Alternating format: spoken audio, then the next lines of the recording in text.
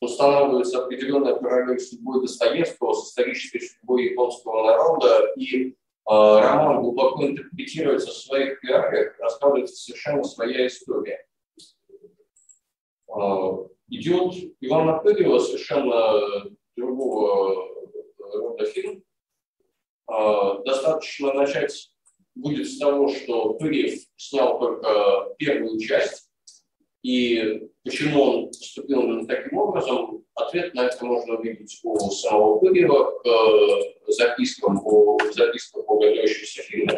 Он говорит о том, что центральная мысль этого романа, если очистить его, проходит от Достоевщины, он истинно говорит о том, что Достоевского надо очистить от Достоевщины, когда он будет нужен поверить советскому человеку. А, он говорит, что центральная мысль романа – это власть денег и то, как деньги портят человека. Поэтому он сосредотачивается на, на первой части, которая заканчивается как раз тем, что Настасья Филипповна бросает эту пачку с десятью тысячами в и в финале Пыгельского фильма ярко показано, как все общество капиталистической царской России стремительно меняется на наших глазах, превращается в каких-то демонов, которые лишены какого бы то ни было человеческого достоинства. Все лезут в этот очаг, чтобы вытащить деньги. А, образ князя в этой интерпретации – это образ неспособного на активное действие дворянского интеллигента. То есть в какой-то мере это продолжение гениевских героев. Герой, который хорошо говорит, герой с прекрасной душой, который, тем не менее, не способен на решительные действия. И с точки зрения Быгева именно поэтому он никого не спасает. Это бессильный дворянский интеллигент, еще не революционный, еще не способный действовать. Анализируя изобразительное решение фильма, констатирует, что фильм во многом театрален, это видно прежде всего в актерской игре том, как в ней расставлены акценты. В пластических образах э, создается некоторый такой э, сувенирный, яркий, э, выпуклый образ царской капиталистической России с подробно выписанными костюмами, все очень ярко детализировано, и это, в общем-то, не соответствует тому, как современный мир показан у Достоевского. То есть э, режиссер помимо прочего ставит задачу э, погрузить своего зрителя в некий такой музей конца XIX века, показать подробно, какой там поезд, какие там костюмы. Интерпретация образа э, Рогожина достаточно упрощенная. На экране возникает, э, ну, как писал один из критиков, некий разнузданный хам Э, лишенный той глубины, той парадоксальности, которой э, Рогожин наделен у Достоевского. Достоевского ведь это один из э, героев с духовной нагрузкой, да, он в одной триаде с э, Мышкиным и Настасьей Филипповной. Он неисключаемый оттуда элемент. А на экране Пырева это представитель вот этого жестокого капиталистического мира. То есть в сущности человек такой же породы природы, как, например, генерал Иванчин. А, то есть на материале Пырева можно констатировать, что это фильм, который изначально ставит задачу редукции Достоевского в идеологическом ключе из благих, казалось бы, побуждений дать Достоевского советскому человеку. Но здесь, э, получается, киноинтерпретаторы становятся в некоторую высокомерную позицию по отношению к тексту, что они знают, как нужно, да, и решают текст того, что, на их взгляд, в этом тексте лишнее. А, собственно, четвертый фильм, относящийся к концу 20 века, 87 год, «Майда без». Вот э, то, что обсуждалось вчера. А, в центре внимания кинематографистов история о порочности революционного заговора. И это соответствует другим фильмам Вайда на ту же самую тему.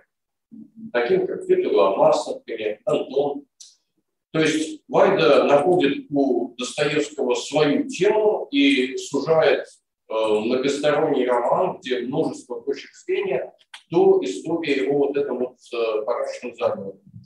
И э, что важно, при этом из э, мировидения революционеров полностью убираются их идеи.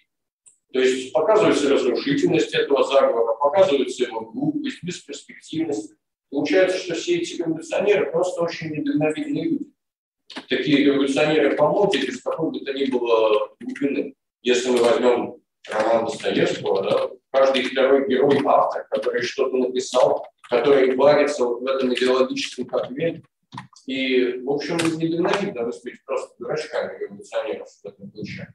Разумеется, Вайда, который, помимо прочего, писал, что э, я ненавижу Достоевского за его национализм, за его мысль о том, что именно Россия должна сказать миру какое-то новое слово. Какое такое новое слово именно Россия должна сказать миру? Ненавижу Достоевского за его отношение к французам, полякам и так далее. Ну, мы все помним образы французов и поляков у Достоевского. Поляк Вайда, очень близкий к французской культуре, отражающий ее в своих произведениях, да, э, снимающий фильм э, с интернациональной кинематографической группой французскими актерами, естественно, полностью нивелирует идею Шатова, ничего ровным счетом ее не оставляя. То есть, убирая из э, интерпретации романа Гесса ту линию, которая ближе всего к собственной линии Достоевского. И Шатов оказывается в положении героя жертвы. Однако именно этот герой жертвы оказывается в центре внимания в организации войны. Тогда как в центре внимания э, Достоевского, ну, конечно, это полифонический роман, но все-таки в основе его Великого Пешкина. И центральным персонажем должен быть Ставрогин, который на экране у Вайда выступает как э, ну, некий побочный герой продолжения Петра Верховенского. На экране у важнее Петр Верховенский и его жертва. Шатов вот, и э, Верховенский. Э, таким образом, перед нами идеологическая редукция, построенная на неприятии автором поляком русского классика, который с точки зрения вот такого э, режиссера, выразившего в своих фильмах в известной степени клише западной культуры 20 века, э, клише о порочности любой революции. Э, к концу 20 века это общее место, да, об этом много кто писал, много кто говорил. В этом же ключе Вайда делает свою организацию. А, и последний фильм, который я анализировал в этой главе, это фильм Петра Зеленки «Карамазов» 2008 год. Это постмодернистская экранизация, которая, в общем, представляет собой глубокую интерпретацию материала. И в этом отношении она отличается от подавляющего большинства постмодернистских экранизаций Достоевского. Роман многократно берется в кавычки сразу а, на экране показывается актерская труппа, которая репетирует спектакль по братьям Карамазовым на территории заброшенного сталилитейного завода. То есть показываются узнаваемые современные реалии, когда бывшие индустриальные объекты превращаются в арт-пространство, там некий литературный, э, некий театральный фестиваль, что характерно, на этот фестиваль выдан грант, то есть все как раз вот, э, наши узнаваемые наши современные. Э, они реализуют грант, они э, делают это на заводе, и э, Достоевский взят в кавычки несколько раз. Это пьеса по Достоевскому, это игра этой пьесы. Однако между героями и актерами устанавливается определенная связь. Ну, например, актер, играющий Митю Карамазову, все время пытается найти съемочной площадке до свидания. Тот же самый актер, играющий Митя Карамазова, обращается к рабочему, который смотрит эту репетицию, а у рабочего в больницу сын, упавший значит, с некой строительной конструкции, с травмой позвоночника, и рабочий э, ждет решения своей судьбы, да, он не знает, когда его сын умер.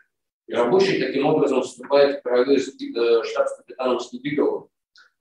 И актер, играющий Митю, в какой-то момент подозревает, что рабочий не настоящий, что его заслал режиссер для того, чтобы держать руку в напряжении, чтобы они играли с особенной силой, потому что на них смотрит человек, у которого поворотный момент в жизни. И вот этот Митя подходит к рабочему и говорит, послушайте, мне жаль, что вы не натурально играете. Подумайте, у вас умер сын. Разве стал бы я смотреть каких-то клоунов удачных, если бы у меня умер сын? Не очень жаль, что вы играете в. Устанавливается определенная связь с эпизодом таскания за, за бороду, да, вот, и э, как себя ведет экранный Смердяков, как он общается с экраном Федором Павловичем. Выступают постоянные параллели между актерами и рогами, которые они исполняют, и все это проходит проверку жизнью через линию рабочего. А, в известной степени э, показывается невозможность современ, э, современному человеку адекватно интерпретировать Достоевского. Но показывается нужность и современность Достоевского здесь и сейчас, показывается, что он живой, и его сюжет в известной степени реализуется в жизни.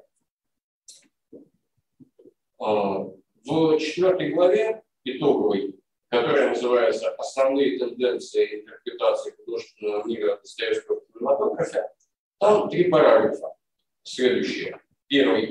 Классификация принципов экранного воплощения художественного мира Достоевского на мультианализированных там я рассматриваю элементы содерж... Э, передачи и искажения художественного мира Достоевского в таблице, где есть э, форма, формальная, содержание, э, формальная передача и формальное искажение. Содержание.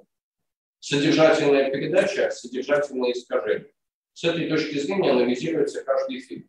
Исходя из этого выводится определенная типология того, какими могут быть эти интерпретации, исходя из того, э, жертвует ли э, режиссер, скажем, э, реалистической репрезентативностью по отношению к роману.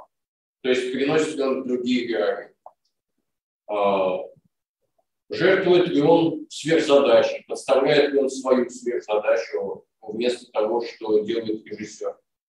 И исходя из этого привожу к тому, что же, собственно, может говорить о том, что интерпретация состоялась. Прежде всего, наличие образов эквивалентов, с одной стороны, с другой стороны, соответствие сверхзадач. Это два компонента, которые могут э, говорить о том, что интерпретация состоялась. То есть проверку такую проходит, например, Филипп Курасава. Потому что эквиваленты есть другие, хотя, казалось бы, он пожертвовал реалистической репрезентативностью. Да, но немножко другая сверхзадача. Да? То есть э, разные типы выведены на примере этих разных фильмов. Все они документированы. В следующем параграфе «Основные формы экранной интерпретации романа Достоевского» я говорю о том, что еще есть, кроме полнометражной экранизации. Разумеется, это многосерийный телевизионный фильм, это короткий метр, это анимация, но кроме этого целый ряд еще форм, таких как номинальная отсылка, когда Достоевский упоминается, но фактически отсутствует. Например, э, в фильме «Универ с Фалафелем в руке» э, австралийская комедия, главный герой, который мечтает и пытается быть писателем, все время себя сопоставляет Достоевским. Но на экране не присутствует ничего, чтобы указывало на то, что Достоевский вообще попадает в поле зрения кинематографистов и предполагаемых зрителей. Для них Достоевский – это некий маркер высокой культуры. И все. А что конкретно за этим стоит, даже не затрагивается. Это чисто номинальная отсылка. Достоевский назван, но отсутствует. Фильм «Пародия», например, «Любовь и смерть идеально», где берется высокое да, и рассматривается в низком ключе. А, ну, хрестоматийный пример, диалог из этого фильма, где герои общаются помощи названий э, Мари. романов Достоевского. Э, игрок, наверное, был просто идиот, мне поток рассказывал и так далее. А, аллюзия на, э, аллюзия на уровне yeah. Например, э, фильм Робера Бессона «Вероятно, дьявол». Вероятно, дьявол – это неточный обратный перевод. В основу названия фильма легла фраза Ивана Карамазова из главы «За коньячком» когда Федор Павлович спрашивает у двух своих сыновей, э, есть ли Бог, Алеша говорит, есть, э, Иван говорит, нет Бога, твердо отвечает. Федор Павлович говорит, вероятно, прав Иван. А кто же тогда всем управляет, если Бога нет? Иван Спивых, ну, черт, наверное. Вот это вот черт, наверное, в французском переводе обратно превращается в вероятно дьявол. И эта фраза звучит на экране применительно к совершенно другой истории. Главный герой фильма Бессона больше сопоставим с Ставрогиным. Это такой представитель золотой молодежи, который полностью утрачивает смысл жизни и рефлексирует над ненужностью морали, подобной Расковникову или тому же Ставрогину. И в итоге приходит к убийству, подобно Ставрогину. При этом постоянно звучат какие-то э, аллюзии, как текстовые, так и э, эпизодические, да, вот повороты какие-то сюжетные, отсылающие к э, различным романам Достоевского. Это аллюзия на уровне художественного целого. Может быть, аллюзия фрагментарная, как, например, в фильме Лукина Висконси «Гибель богов». Один из героев которого Мартин Эссенбек э, изнасиловал девушку, девушку маленькую, потом она повесилась. Аллюзия к Ставрогину. Э, это может быть э, фильм, который э, отсылает, к, вернее, формально экранизирует Достоевского, сохраняет его сюжет, однако полностью уходит от его сверхзадач. Например, фильм «Даунхаус» Романа Кощана. Абсолютно другие задачи, как раз показывается некая неадекватность Достоевского жизни, чем этот фильм противоположен Гузелин, где э, высокомерия вот этого нет по отношению к тексту. Э, и последний параграф, который входит в последнюю главу, это историческое развитие киноинтерпретации романного творчества Достоевского. Здесь я рассматриваю разные этапы, то есть прохожусь э, заново и выделяю основные черты, свойственные разным периодам, вот, начиная от э, немого кинематографа до начала 21 века.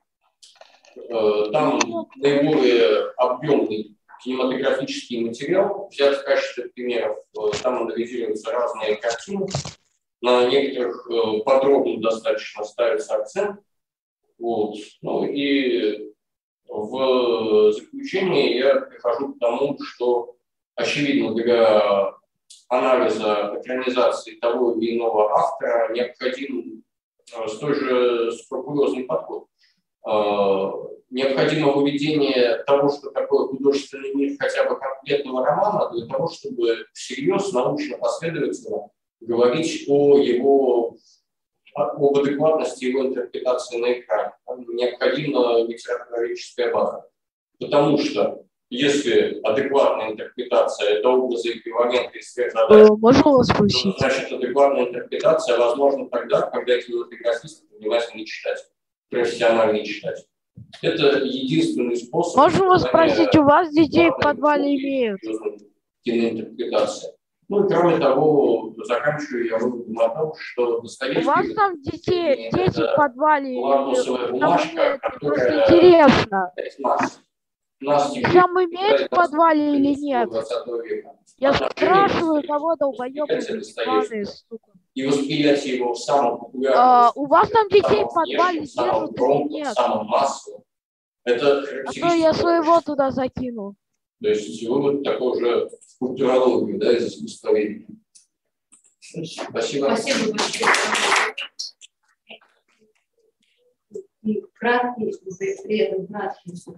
У вас у детей в подвале держат. Оставляете за кадром какие-то вопросы, да, мы можем проверить вопросы и комментарии, для позиционность, пожалуйста, есть. А можно мне уточняющий вопрос по Анджелу Вайду, по весам? Вы сказали, что он там э, интерпретировал Россию э, как источник э, какой-то культурной агрессии. Что такое было? Не совсем точно я уловил тогда. Повторите. Не, не то, что культурная агрессия, а неким проблемах цивилизационных. У Вайды, я цитирую эти моменты из интервью да. Вайды в книге, вот цитата, Вайда говорит, я ненавижу Достоевского за его национализм. Ага. Какое такое новое слово должна Россия сказать э, Я не согласен с высказыванием с тем, каким Достоевский представляет французов, поляков и так далее. Угу. Ну, это понятно. Поляк еще... Польский националист, а там русский националист. Встретились два националиста. Да-да, и причем он признает, конечно, талант Достоевского. После того, что вчера мы это обсуждали, я всем говорю, что на пятой минуте мы перешли от достоинств кино к проблеме национального вопроса. Вот э, вы как раз процитировали этот замечательный э, пример.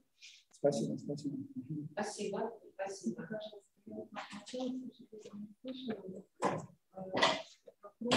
Если можно, я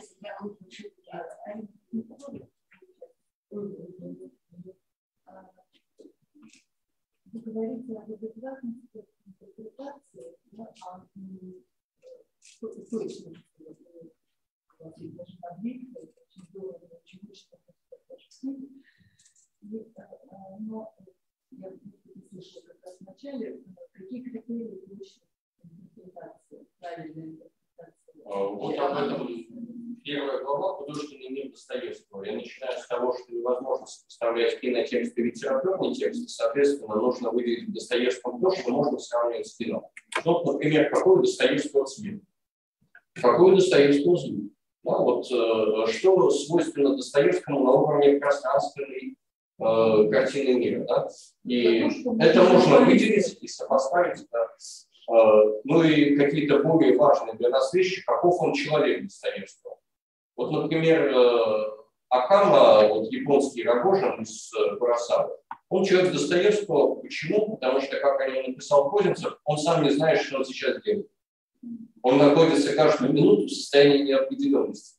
То есть он как раз герой между двух бездн. Он может совершить самопожертвование, а может кого-нибудь зарезать. Да? И э, вот то, что он одновременно, то, что он мечется, да, это в нем основное. То есть, получается, здесь совершенно не русский герой, но тем не менее Курасава попал. И, наверное, не попал, а понял. Ну, потому что это, конечно, режиссер-читатель. А, значит, такой вопрос тоже очень интересный. А на мой взгляд, вот вы проанализировали, с одной стороны, вот западный тип восприятия советского, и в то же время нам попадается вот, восточный тип японский. Да? Ублюдок, мать твою, а ну иди сюда, говно собачье, а решил ко мне. Блядь, ты охуел? Блядь.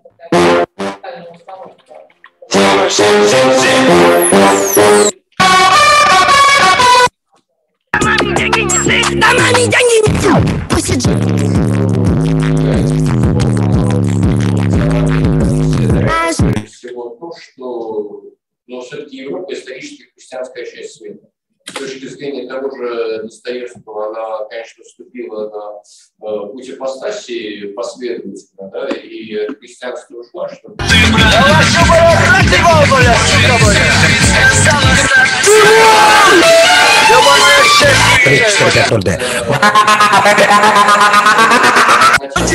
Но пока не доказано, не ебешь, что сказано.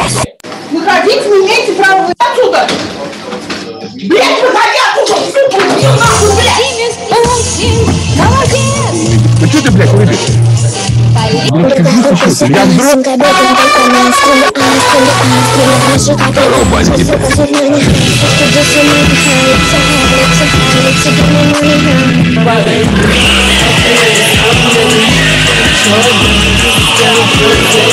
В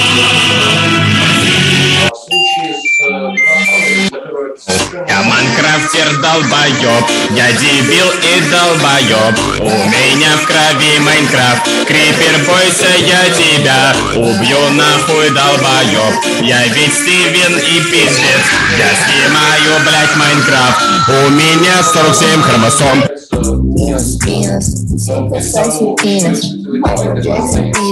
Внутри сюрприз киндер Я Пьяные аппетиты, когда я в арена Благо чемпион Джон Сина человека совершенно реальности, в котором На гражданке, на каком-нибудь The.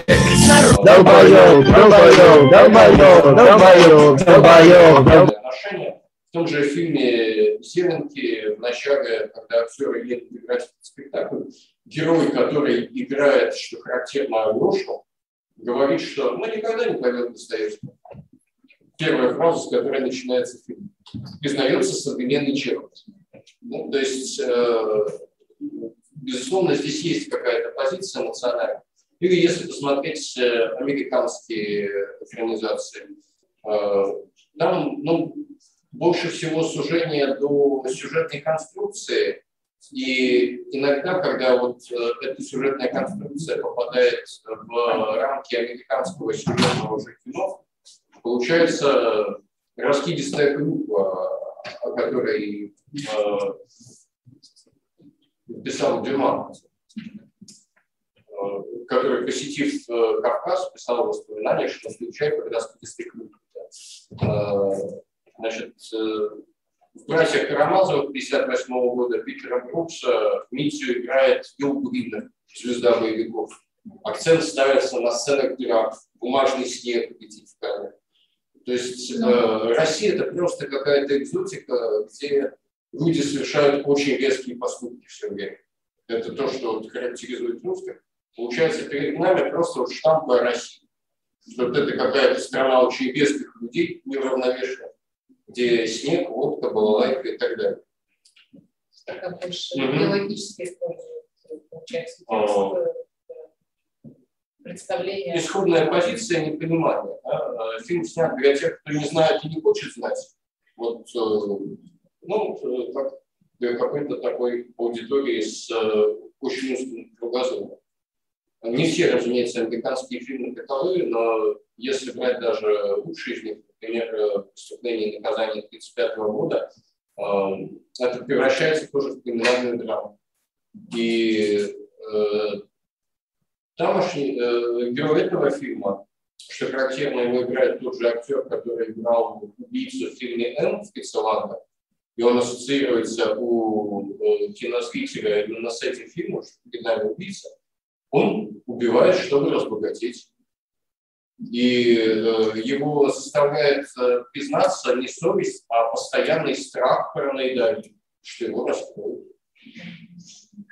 Э, Получается, как Достоевский, для Достоевского толчком к написанию преступления и наказания э, стал газетный очерк о парижском студенте, который убил и ограбил, чтобы поесть. Ну, просто от голода. Да.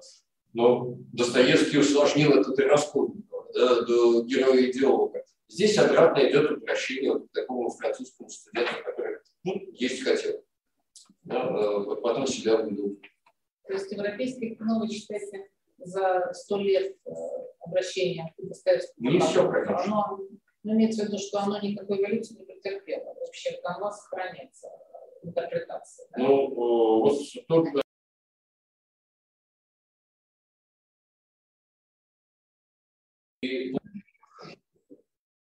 устанавливается определенная параллель судьбой Достоевского с исторической судьбой японского народа и а, роман глубоко интерпретируется в своих реалиях, рассказывается совершенно своя история.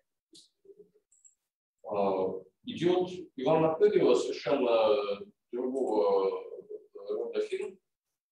А, достаточно начать будет с того, что Пырьев снял только первую часть, и почему он поступил именно таким образом, ответ на это можно увидеть у самого Пырьева к э, запискам о запискам о готовящемся фильме. Он говорит о том, что центральная мысль этого романа, если очистить его, как он говорит, от Достоевского, он истинно говорит о том, что Достоевского надо очистить от Достоевщины, когда он будет нужен поверить советскому человеку. А, он говорит, что центральная мысль романа – это власть денег и то, как деньги портит человека. Поэтому он сосредотачивается на, на первой части, которая заканчивается как раз тем, что Настасья Филипповна бросает эту пачку с 10 тысячами в огонь. И в финале Пыгелевского фильма ярко показано, как все общество капиталистической царской России стремительно меняется на наших глазах, превращается в каких-то демонов, которые лишены какого бы то ни было человеческого достоинства – все лезут в этот очаг, чтобы вытащить деньги. А, образ князя в этой интерпретации – это образ неспособного на активное действие дворянского интеллигента. То есть в какой-то мере это продолжение тургеневских героев. Герой, который хорошо говорит, герой с прекрасной душой, который, тем не менее, не способен на решительные действия. И с точки зрения Быгева именно поэтому он никого не спасает. Это бессильный дворянский интеллигент, еще не революционный, еще не способный действовать. Анализируя изобразительное решение фильма, констатирует, что фильм во многом театрален. Это видно прежде всего в актерской игре том, как в ней расставлены акценты. В пластических образах э, создается некоторый такой э, сувенирный, яркий, э, выпуклый образ царской капиталистической России с подробно выписанными костюмами, все очень ярко детализировано, и это, в общем-то, не соответствует тому, как современный мир показан у Достоевского. То есть э, режиссер помимо прочего ставит задачу э, погрузить своего зрителя в некий такой музей конца XIX века, показать подробно, какой там поезд, какие там костюмы. Интерпретация образа э, Рогожина достаточно упрощенная. На экране возникает, э, ну, как писал один из критиков, некий разнузданный хам, э, лишенный той глубины, той парадоксальности, которой э, Рогожин наделен у Достоевского. Достоевского ведь это один из э, героев с духовной нагрузкой, да, он в одной триаде с э, Мушкиным и Настасией Филипповной. Он неисключаемый оттуда элемент. А на экране Пырева это представитель вот этого жестокого капиталистического мира. То есть в сущности человек такой же породы природы, как, например, генерал Иванчин. А, то есть на материале Пырева можно констатировать, что это фильм, который изначально ставит задачу редукции Достоевского в идеологическом ключе. Из благих, казалось бы, побуждений дать Достоевского советскому человеку. Но здесь, э, получается, киноинтерпретаторы становятся в некоторую высокомерную позицию по отношению к тексту, что они знают, как нужно, да, и решают текст того, что, на их взгляд, в этом тексте лишнее. А, собственно, четвертый фильм, относящийся к концу 20 века, 87 год, «Майда без». Вот э, то, что обсуждалось вчера. А, в центре внимания кинематографистов история о порочности революционного заговора. И это соответствует другим фильмам Вайда на ту же самую тему. Таким как Петр Ламас, например, Антон, то есть Вайда находит у Достоевского свою тему и сужает э, многосторонний роман, где множество точек зрения, до истории его вот этом вот э, порочном заговоре. И э, что важно, при этом из э, мировидения революционеров полностью убираются их идеи. То есть показывается разрушительность этого заговора, показывается его глупость, бесперспективность, Получается, что все эти революционеры просто очень недальновидные люди. Такие революционеры по моде без какой бы то ни было глубины. Если мы возьмем роман Достоевского, да, каждый второй герой автор, который что-то написал, который варится вот в этом идеологическом котле. И, в общем, недальновидно выступить просто дурачками революционеров в этом ключе. Разумеется, Вайда, который, помимо прочего, писал, что э, я ненавижу Достоевского за его национализм, за его мысль о том, что именно Россия должна сказать миру какое-то новое слово. Какое такое новое слово именно Россия должна сказать миру? Ненавижу Достоевского за его отношение к французам, полякам и так далее. Ну, мы все помним образы французов и поляков у Достоевского. Поляк Вайда, очень близкий к французской культуре, отражающий ее в своих произведениях, да, э, снимающий фильм Э, с интернациональной кинематографической группой и французскими актерами, естественно, полностью нивелирует идею Шатова, ничего ровным счетом от не оставляя. То есть, убирая из э, интерпретации романа Беса ту линию, которая ближе всего к собственной линии Достоевского. И Шатов оказывается в положении героя жертвы. Однако именно этот герой жертвы оказывается в центре внимания в организации войны. Тогда как в центре внимания э, Достоевского, ну, конечно, это полифонический роман, но все-таки в основе его жития Великого Пешкина. И центральным персонажем должен быть Ставрогин, который на экране у Вайда выступает как э, ну, некий побочный герой продолжения Петра Верховенского. На экране у Вайда важнее Петр Верховенский и его жертва. Шахов вот, и э, Верховенский.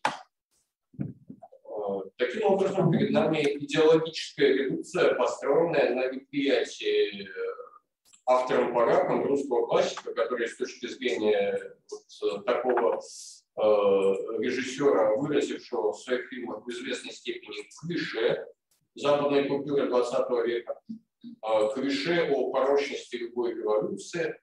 Э, к концу 20 века это общее место, да, об этом много кто писал, много кто говорил. В этом же ключе Вайда делает свою организацию. А, и последний фильм, который я анализировал в этой главе, это фильм Петра Зеленки «Карамазова», 2008 год. Это постмодернистская экранизация, которая, в общем, представляет собой глубокую интерпретацию материала. И в этом отношении она отличается от подавляющего большинства постмодернистских экранизаций Достоевского.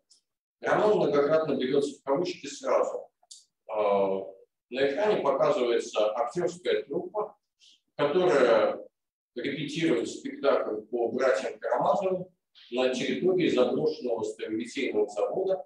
То есть показываются узнаваемые современные реалии, когда бывшие индустриальные объекты превращаются в арт-пространство, там некий литературный, э, некий театральный фестиваль, что характерно, на этот фестиваль выдан грант, то есть все как раз вот, э, наши узнаваемые наши современные. Э, они реализуют грант, они э, делают это на заводе, и э, Достоевский взят в кавычки несколько раз. Это пьеса по Достоевскому, это игра этой пьесы. Однако между героями пьесы и актерами устанавливается определенная связь. Ну, например, актер, играющий Митю Карамазову, все время пытается найти съемочной площадке до свидания. Тот же самый актер, играющий Митя Карамазова, обращается к рабочему, который смотрит эту репетицию, у рабочего в больницу сын, упавший значит, с некой строительной конструкции, с травмой позвоночника, и рабочий э, ждет решения своей судьбы, да, он не знает, когда его сын. И рабочий таким образом вступает в параллель с э, штабс-капитаном Снегиревым. И актер, играющий Митю, в какой-то момент подозревает, что рабочий не настоящий, что его заслал режиссер для того, чтобы держать руку в напряжении, чтобы они играли с особенной силой, потому что на них смотрит человек, у которого поворотный момент в жизни. И вот этот Митя подходит к рабочему и говорит, послушайте, мне жаль, что вы не натурально играете. Подумайте, у вас улицы. Разве стал бы я смотреть каких-то клоунов дальше, если бы у меня улицы? Мне очень жаль, что вы играете клоун устанавливается определенная связь с эпизодом таскания за, за бороду, да, вот, и э, как себя ведет экранный Смердяков, как он общается с экраном Федором Павловичем. Выступают постоянные параллели между актерами и рогами, которые они исполняют, и все это проходит проверку жизнью через линию рабочего. А, в известной степени Э, показывается невозможность современ, э, современному человеку адекватно интерпретировать Достоевского. Но показывается нужность и современность Достоевского здесь и сейчас, показывается, что он живой, и его сюжет в известной степени реализуется в жизни. А, в четвертой главе, итоговой, которая называется «Основные тенденции интерпретации художественного мира Достоевского в кинематографе», там три параграфа следующее. Первый. Классификация принципов экранного воплощения художественного мира Достоевского на мультиплеерных анализированных Там я рассматриваю элементы содерж... Э, передачи и искажения художественного мира Достоевского в таблице, где есть э, форма, формальная, содержа... Э, формальная передача и формальное искажение. Содержание содержательная передача, содержательное искажение. С этой точки зрения анализируется каждый фильм. Исходя из этого выводится определенная типология того, какими могут быть эти интерпретации. Исходя из того, э, жертвует ли э, режиссер, скажем, э, реалистической репрезентативностью по отношению к роману. То есть приносит ли он другие герои. Жертвует ли он сверхзадачей, подставляет ли он свою сверхзадачу вместо того, что делает режиссер. И, исходя из этого, привожу к тому, что же, собственно, может говорить о том, что интерпретация состоялась. Прежде всего, наличие образов эквивалентов, с одной стороны, с другой стороны, соответствие сверхзадач. Это два компонента, которые могут э, говорить о том, что интерпретация состоялась. То есть проверку такую проходит, например, Филипп Курасава. Потому что эквиваленты есть другие, хотя, казалось бы, он пожертвовал реалистической репрезентативностью. Да, но немножко другая сверхзадача. Да? То есть э, разные типы выведены, например, этих разных типов. Все они прагмативны. В следующем параграфе «Основные формы экранной интерпретации романа Достоевского» я говорю о том, что еще есть, кроме полнометражной экранизации. Разумеется, это многосерийный телевизионный фильм, это короткий метр, это анимация, но кроме этого целый ряд еще форм, таких как номинальная отсылка, когда Достоевский упоминается, но фактически отсутствует. Например, в фильме «Универ с Фалафелем в руке» Э, австралийская комедия, главный герой, который мечтает и пытается быть писателем, все время себя сопоставляет Достоевским. Но на экране не присутствует ничего, чтобы указывало на то, что Достоевский вообще попадает в поле зрения кинематографистов и предполагаемых зрителей. Них Достоевский – это некий маркер высокой культуры. И все. А что конкретно за этим стоит, даже не затрагивается. Это чисто номинальная отсылка. Достоевский назван, но отсутствует. Фильм пародия, например, «Любовь и смерть идеально», где берется высокое да, и рассматривается в низком ключе. А, ну, хрестоматийный пример, диалог из этого фильма, где герои общаются помощи названий э, Мари. романа Достоевского. Э, игрок, наверное, был просто идиот, мне богов рассказывал и так далее. А, аллюзия на, э, аллюзия на уровне yeah. Например, э, фильм Рамбера Бессона «Вероятно, дьявол».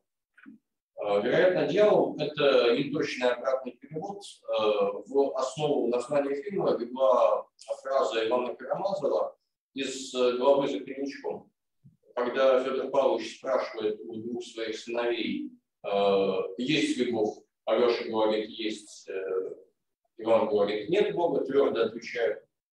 Федор Павлович говорит, вероятно, прав Иван. А кто же тогда всем управляет, если Бога нет? Иван с кривых ног говорит, черт, наверное. Вот это вот черт, наверное, в французском переводе обратно превращается в вероятно дьявол.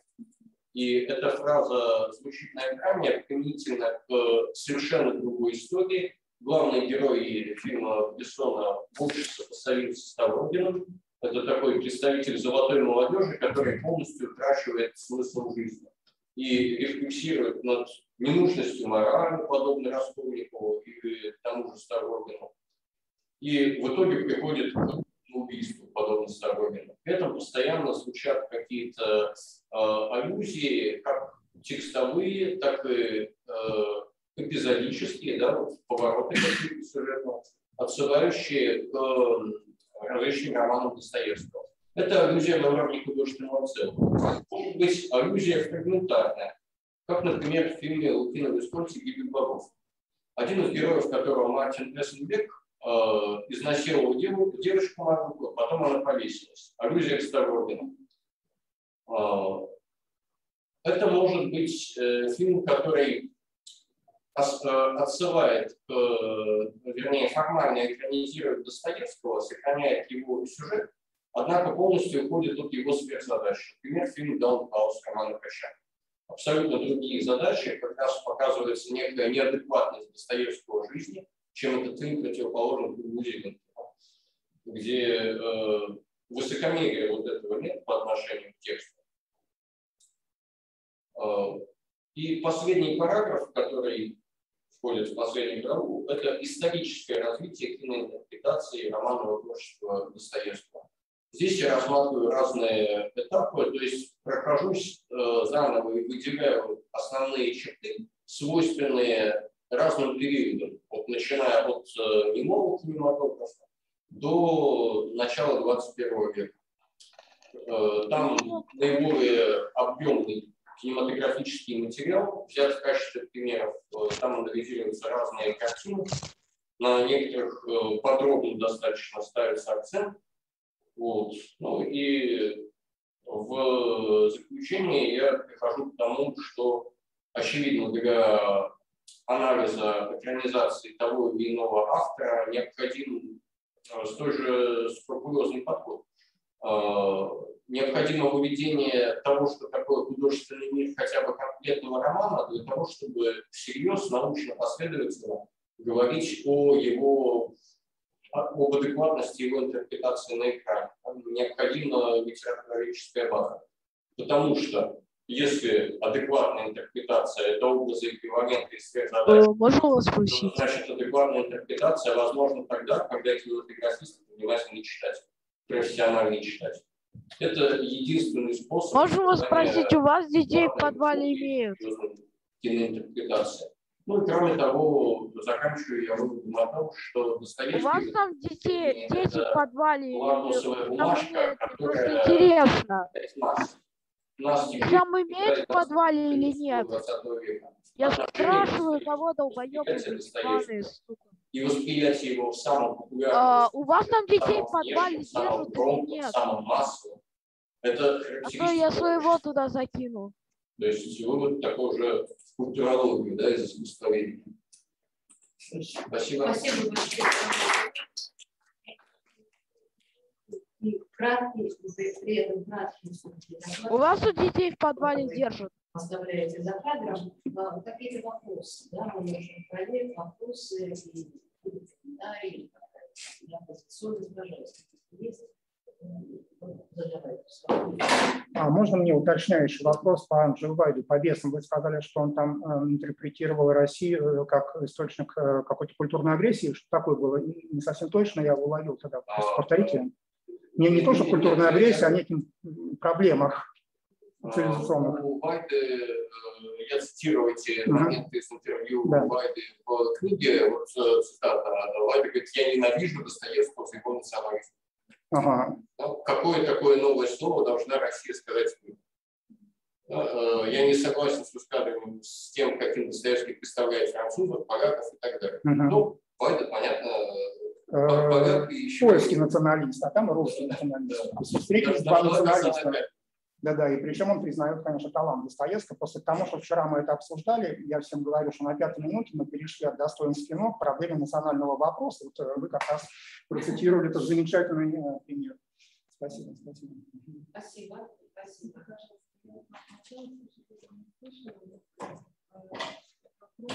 Если можно, я хочу Вы говорите об адекватности интерпретации, да, о м, точности. Даже таблицы, очень здорово, очень вышла даже книга. И, э, э, Но я слышала как раз в какие критерии точности интерпретации, правильной интерпретации. А, Вот об этом первая глава «Художественный мир Достоевского». Я начинаю с того, что невозможно сопоставлять кинотекст и литературный текст. Соответственно, нужно выделить в Достоевском то, что можно сравнивать с кино. Ну, Вот, например, какой у Достоевского цвет? Какой у Достоевского звук? Да, вот, э, что свойственно Достоевскому на уровне пространственной э, картины мира. Да? И это можно выделить и сопоставить. Да. Э, Ну и какие-то более важные для нас вещи, каков он человек Достоевского. Вот, например, э, Акама, вот японский Рогожин из э, Куросавы, он человек Достоевского. Почему? Потому что, как о нем написал Козинцев, он сам не знает, что он сейчас делает. Он находится каждую минуту в состоянии неопределенности. То есть он как раз герой между двух бездн. Он может совершить самопожертвование, а может кого-нибудь зарезать. Да? И вот то, что он одновременно, то, что мечется, да, это в нем основное. То есть, получается, здесь совершенно не русский герой, но тем не менее Куросава попал. И, наверное, не попал, а понял. Ну, потому что это, конечно, режиссер-читатель. А, значит, такой вопрос тоже очень интересный. Мне. На мой взгляд, вот вы анализировали, с одной стороны, такой вот западный тип восприятия советского, и тоже нам попадается вот, восточный тип, а японский. Да? Ублюдок, мать твою, а ну иди сюда, говно собачье, а решил ко мне, блядь, ты охуел? Блядь.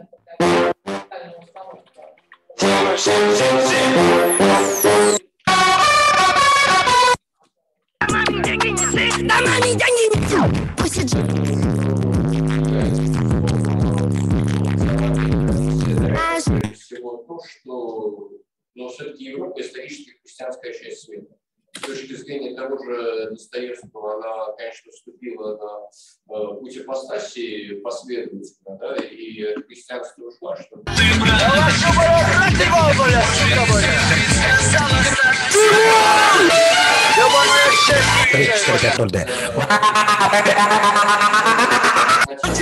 Но пока не доказано, не ебешь, что сказано.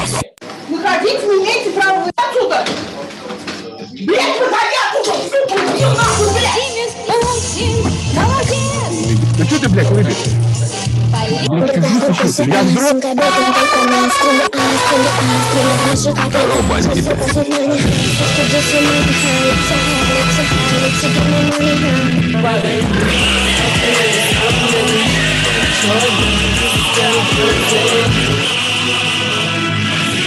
В случае с э, Майнкрафтер долбоеб, я дебил и долбоеб У меня в крови Майнкрафт. Крипер, бойся, я тебя Убью нахуй долбоеб Я ведь Стивен и пиздец. Я снимаю, блять, Майнкрафт. У меня 47 хромосом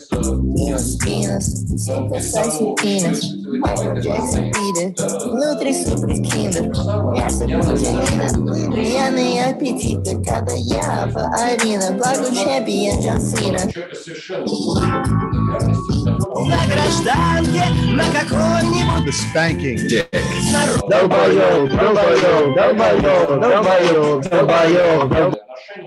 Том же фильме «Зеленки» в начале, когда актеры едут играть в спектакль, герой, который играет, что характерно, Алешу, говорит, что мы никогда не поймем Достоевского. Первая фраза, с которой начинается фильм.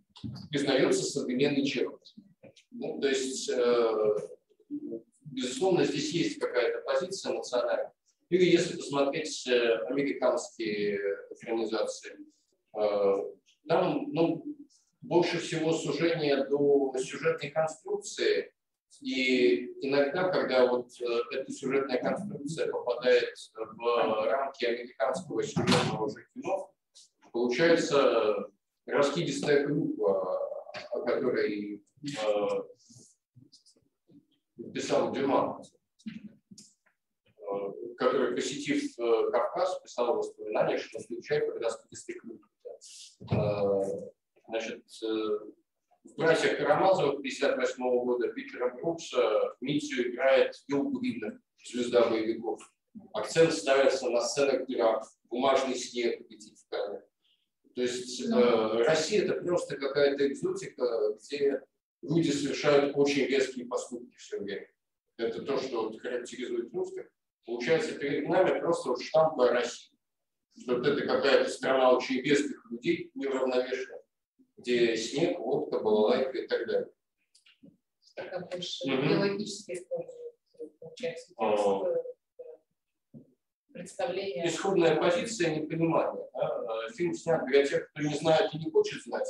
Вот, э, ну, как для какой-то такой аудитории с очень узким кругозором.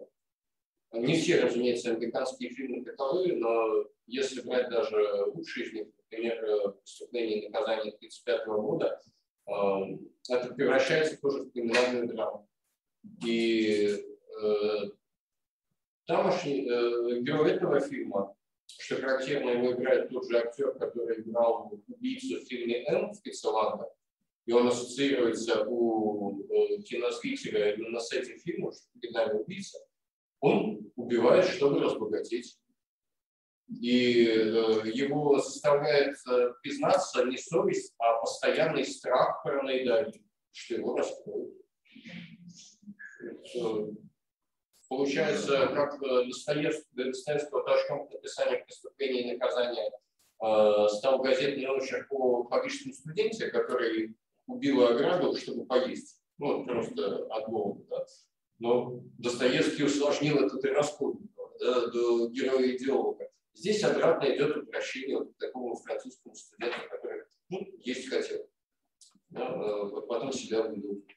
То есть европейское кино вы считаете за сто лет э, обращения к Достоевскому? Не все, конечно. Оно, ну, имеется в виду, что оно никакой эволюции не претерпело. Вообще канва сохраняется интерпретация. Да? Ну, э, вот тот же, фильм «Зеленки» 2008 года, на мой взгляд, в целом э, интересная и глубокая интерпретация, э, потому что те переклички, которые устанавливаются между, прежде всего, рабочими, людьми, которые смотрят спектакль, это рефлексия о Достоевском и о том, нужен ли нам Достоевский сейчас, и какие истины он нам несет сейчас, то есть это именно применение Достоевского в сегодняшнем мире. Мне кажется, что вот такой подход э, правильный и глубокий. Э, тут подойдет, мне кажется, такое определение, которым пользуются переводчики. Э, перевод – это искусство потери. Невозможен полностью идентичный перевод, и всегда надо думать, чем ты пожертвуешь для того, чтобы сохранить главное. Вот э, Зименко, он пошел именно по этому пути. Он изначально констатирует, что адекватный перевод невозможен по определению. И, соответственно, он становится на путь отсекания, и получается, он кое-что оставляет такое, что сообщает нам многое и о Достоевском, и о современности, и о, ну, здесь типично постмодернистская тема, да, взаимоотношений жизни и искусства. В какой-то момент там искусство начинает жизни диктовать свои правила. Между ними устанавливаются новые совершенно параллели, но тем не менее ставится акцент именно на э, преодолении постмодернистских установок. Жизнь врывается в пьесу и начинает ее по-своему интегрировать. И это, конечно, позиция Достоевского, да, что искусство вторично, первично жизнь. Да, у нас э, круглый стол почти круглый стол, конечно, хотелось бы и другие слова, но мы никуда не раскручены, очень быстро.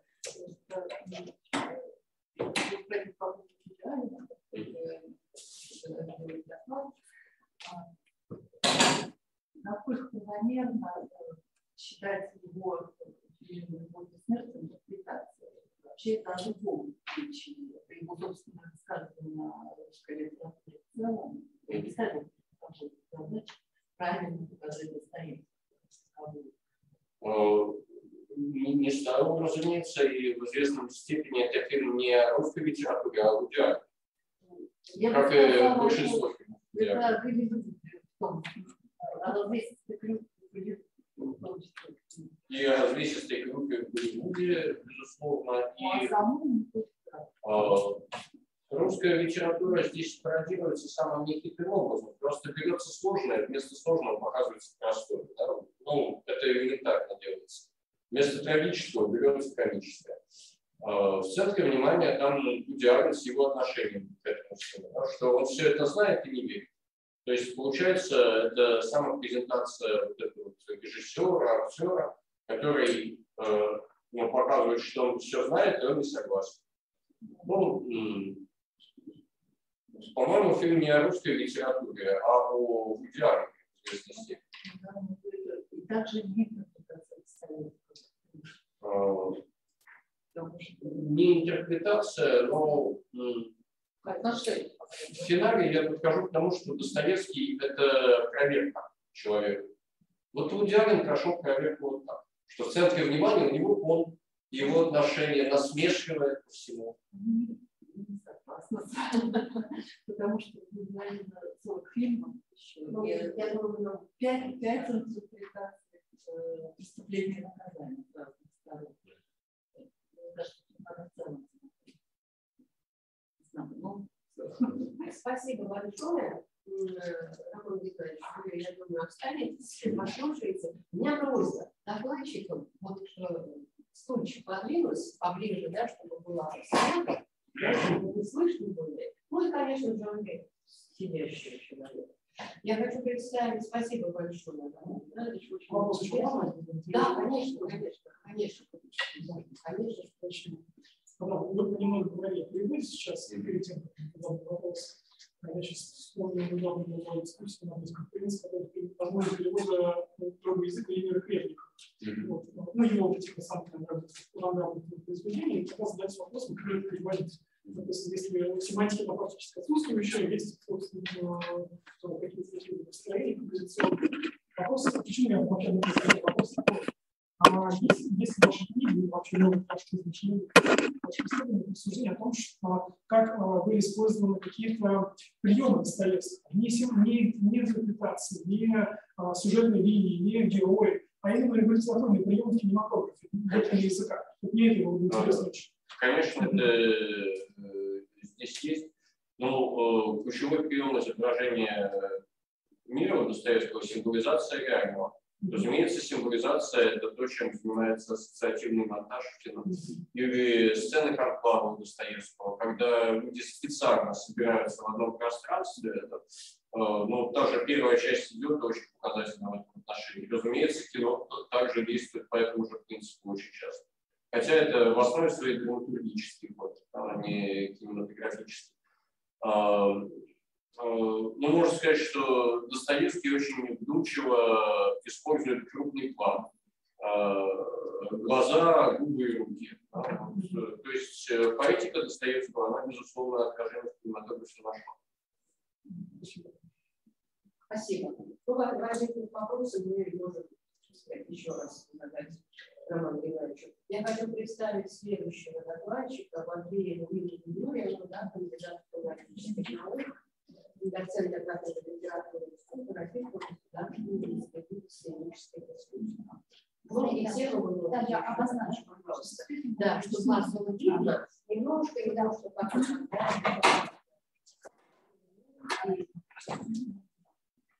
На самом деле, да, я буду совсем в ином ключе выступать. Речь пойдет не об эстетике и поэтике, а об идеологии потому что, ну, во-первых, русская литература идеологична очень, и э, в своих докладах это объяснить самое непонятное в кино, загадочное кино через некоторые важные темы Достоевского. Действительно, комментарий к теме необходим, она сформулирована тема таким образом, мечтательность Достоевского, память Бергсона, творческое созидание жизни в кинофильме «Рокблие» и «Рене» в прошлом году в Мариенбаде. Действительно, а, это похоже на странное сближение. Рус, классика русской литературы, а, далее один из ярких представителей классической философии Андрей Бергсон, да, писатель, кинематографист, идеолог нового романа и искусства новой волны Рокрие, казалось бы, что общего. Но в этом ряду угадывается преемственность. Если учитывать тот факт, что творчество Достоевского предлагает новую антропологию, новое понимание того, что есть человеческое сознание, новое видение того, как человеческое сознание определяет реальность, влияет на реальность, создает внешний мир. Заметим, что вот в серии книг, э, изданных ХГА, и презентации, которая состоялась буквально во вторник, один том а, посвящен универсалиям художественного мира Достоевского, и в основе идеологии этого тома представление о том, что потом представление о творческих прозрениях русского писателя и мыслителя как поворотные точки в истории развития русской мировой культуры. И тогда вот в истории кино, каким образом, как думается, можно прочитывать эти обретения Достоевского. Период э, середины 20 века, то есть 50-е, 60-е годы можно определить как эпоху освоения киноискусством творчества наследия Достоевского. Но влияние образов и идей писателя на мировой кинематограф не ограничивается обширным списком экранизаций постановок. Сама специфика художественной реальности, созданной писателем, как реальности символической, мифологической, осваивалась и влияла на искусство XX века. Предметом а, осмысления данном докладе стал французский кинофильм в прошлом году в Мариенбаде, который появился в 1961 году режиссера Али Марине, созданный по сценарию Розбрие. Фильм является общепризнанной классикой мирового кинематографа, признание закреплено несколькими премиями. Важно заметить, что традиционное представление а, о том, что главным автором фильма можно считать режиссера, а сценарист всего лишь своего рода поставщик материала, вот, а в случае с фильмом в прошлом году в Мариенбаде эта установка нуждается в корректировке. Все наиболее важные идеи образы, несомненно, задали именно Роб Грие. И напомню, что Роб Грие написал именно режиссерский сценарий, то есть покадровое описание фильма. Таким образом, художественные размышления Роб Грие неразрывно связаны как с его литературными поисками, так и в дальнейшей самостоятельной кинематографической работе. Более чем полувековой истории интерпретации кинофильма главной характеристикой остается его загадочность. Фильм характеризует как один из самых спорных, как самый завораживающий фильм в истории мирового кино. Разноречивым выглядит такой факт, что во время творческого вечера Роб Грие в музее а, кино в Москве, он состоялся в 1999 году, вопрос о содержании фильма в прошлом году в январе оказался в центре обсуждения. Хотя на тот момент в творческом багаже режиссера было более 10 э, весьма выразительных кинопроизведений. Несколько слов о существующих интерпретациях. Согласно наиболее распространенным, мы не должны считать историю, представленную на экране, реальной. Фильм повествует о внутренней энергии слова, текста, который действует на наше сознание. Но даже более, более популярна точка зрения, согласно которой фильм нужно понимать как формальное действие, в котором участвуют декоммунизированные знаки и фигуры, а не человеческие субъекты. Господство такого рода формалистических интерпретаций, на наш взгляд, препятствует пониманию глубокой взаимосвязи идейного плана фильма с концепциями сознания, времени, памяти, которые появились в искусстве и философии XIX-XX века. Заметим скобках, что в интерпретации представителей нового романа часто на поверхность выходит их декларации, что они занимаются только литературой. Но уходит от внимания, что само начало этой самой литературной деятельности, например, Роб Бринье объяснял тем, что пытался формулировать понять, кто я. Роб Бринье неоднократно признавался в том влиянии, которое оказал на него Достоевский, и мы обратимся к одной принципиальной теме творчества Достоевского, которая, на наш взгляд, позволяет интерпретировать цитировать кинофильм в прошлом году в Мариенбаде. Построение Бергсона относительно категории время и память здесь оказались необходимы для того, чтобы перевести на рациональный язык образное воплощение художника. А, ну вот какая тема? Мечтательство Достоевского. Да? Одна из наиболее характерных черт всех героев а, писателя, но наиболее выразительных героев 40-х годов. Традиционное мечтательство осмысливается как мироощущение людей романтического склада, для которых мир фантазии и воображения оказывается более реальным, чем прозаическая действительность. Ранние произведения Достоевского предлагают целую галерею героев мечтателей. Это и Макар Девушкин, и Галяткин в какой-то мере. Это, конечно, Вася Шумко в повести «Слабое сердце», Ардына в повести «Хозяйка», но, безусловно, мечтатель «Белых ночей». Заметим, что в 1957 году вышла экранизация «Белых ночей» Достоевского, сделанная Лукино Висконти. То есть мечтатель появился в кинематографе. Как писал сам Достоевский о мечтателях Петербургской летописи в 1947 году, фантазия их подвижная, летучая, легкая, целый мечтательный мир с радостями, горестями, с адом и раем, с пленительнейшими женщинами, с геройскими подвигами, с благородной деятельностью но мечтательство как важнейший компонент духовной жизни личности, как качество, определяющее напряжение нравственной жизни человека, становится характерной чертой всех ищущих героев Достоевского. Идеал, мечтаемый, созданный внутренней напряженной работой, должен быть воплощен в действительности. Мечтатель должен превратиться в деятеля, обустраивающего мир или даже созидающего мир по гармоническому образу, который рожден воображением. Творчестве Достоевского тема мечтательства неразрывно связана с его религиозными представлениями. Идеальное представление о мире, о гармоническом существовании человечества, которое рождается в воображении героев, это проявление божественной сущности самого человека. Можно даже сказать, что главная мечта в творчестве Достоевского – это мечта о рае, такого типа мечтательства мы видим в откровениях князя Мышкина, когда небо и землей встречаются. Да? В картине «Открывшийся раскольник» в эпилоге, цитата, «Там была свобода, и жили другие люди, совсем не похожие на здешних, там как бы самое время остановилось, точно не прошли еще века Авраама и статуи». Раскольник сидел, смотрел неподвижно, не отрываясь, мысль его переходила в грезы, в созерцание. Ну и последний здесь пример. Старик Засима учит, что рай достижим, потому что он существует в нас. Нужно только войти в него, понять, что это надо. Рай в творчестве Достоевского становится подлинным миром самого человека, настоящей его сущности. Ну, здесь сколько замечу, что я тоже. Да? А, ну, теперь возвращаясь к фильму.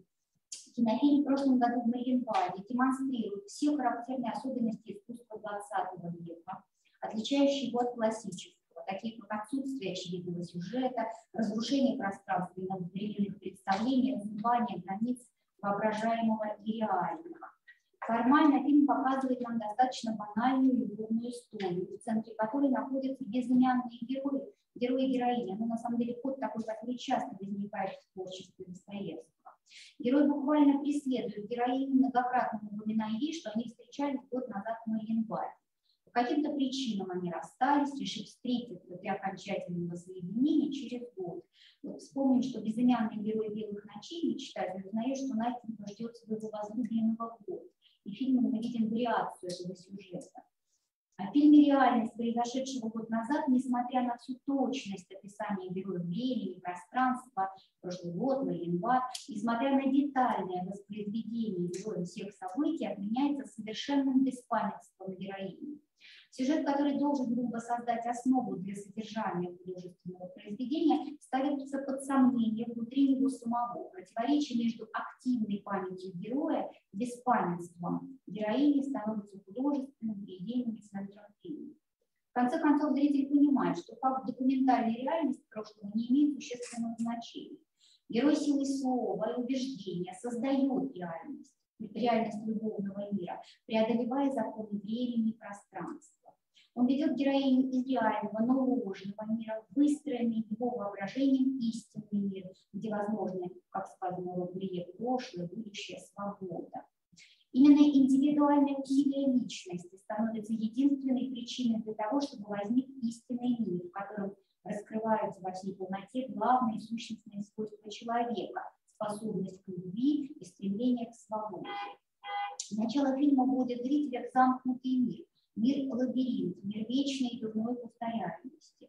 Не случайно в объектив камеры часто попадаются активные старинные гравюры, на которых изображен регулярный французский парк.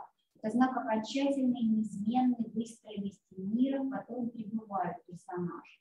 И эта его характеристика предстоит в еще более зловещем виде из-за постоянного движения предметов и людей в кадре, не приводящего ни к чему новому.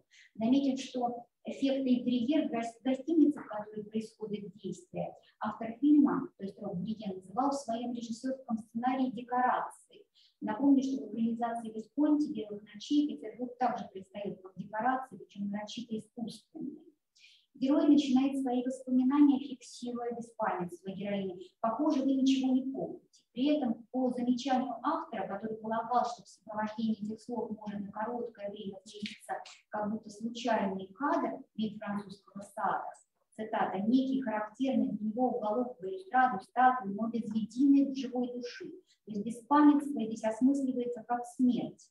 Многочисленные интерпретации фильма рассматривают проблему памяти исключительно в ее психологическом аспекте. Однако такой подход не соответствует настоящему содержанию фильма, как мы полагаем. Здесь нужно учесть, что феномен памяти в 20 веке становится принципиальной для новой литературы, развивавшейся в рамках модернистской эстетики. Здесь надо назвать и Бунина, и Пруста, и э, Набокова, конечно. Да? Но что особенно важно, память становится одной из ключевых категорий в новаторских философских системах. Наибольшее влияние на развитие модернистского искусства оказали философские построения Бергсона, который принципиально различал две формы времени. Первое, да, земное, физическое, которое кажется объективным и независимым от личности, но на самом деле является вторичным. И второе важное, внутреннее, духовное, связанное с памятью, которое кажется субъективным, но в метафизическом смысле как раз первичным, непосредственно выражает абсолютное.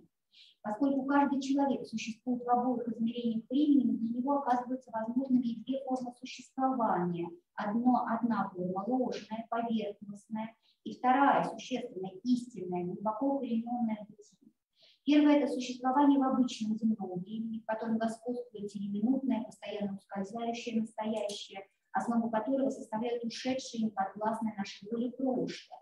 Второе – это существование в духовном времени, которое обладает качеством цельности, то есть в котором настоящее и прошлое существуют в неразрывном единстве и могут вместе изменяться в результате наших творческих усилий. Я понимаю, что это немножко странно звучит, менять прошлое, да? но здесь именно так получается.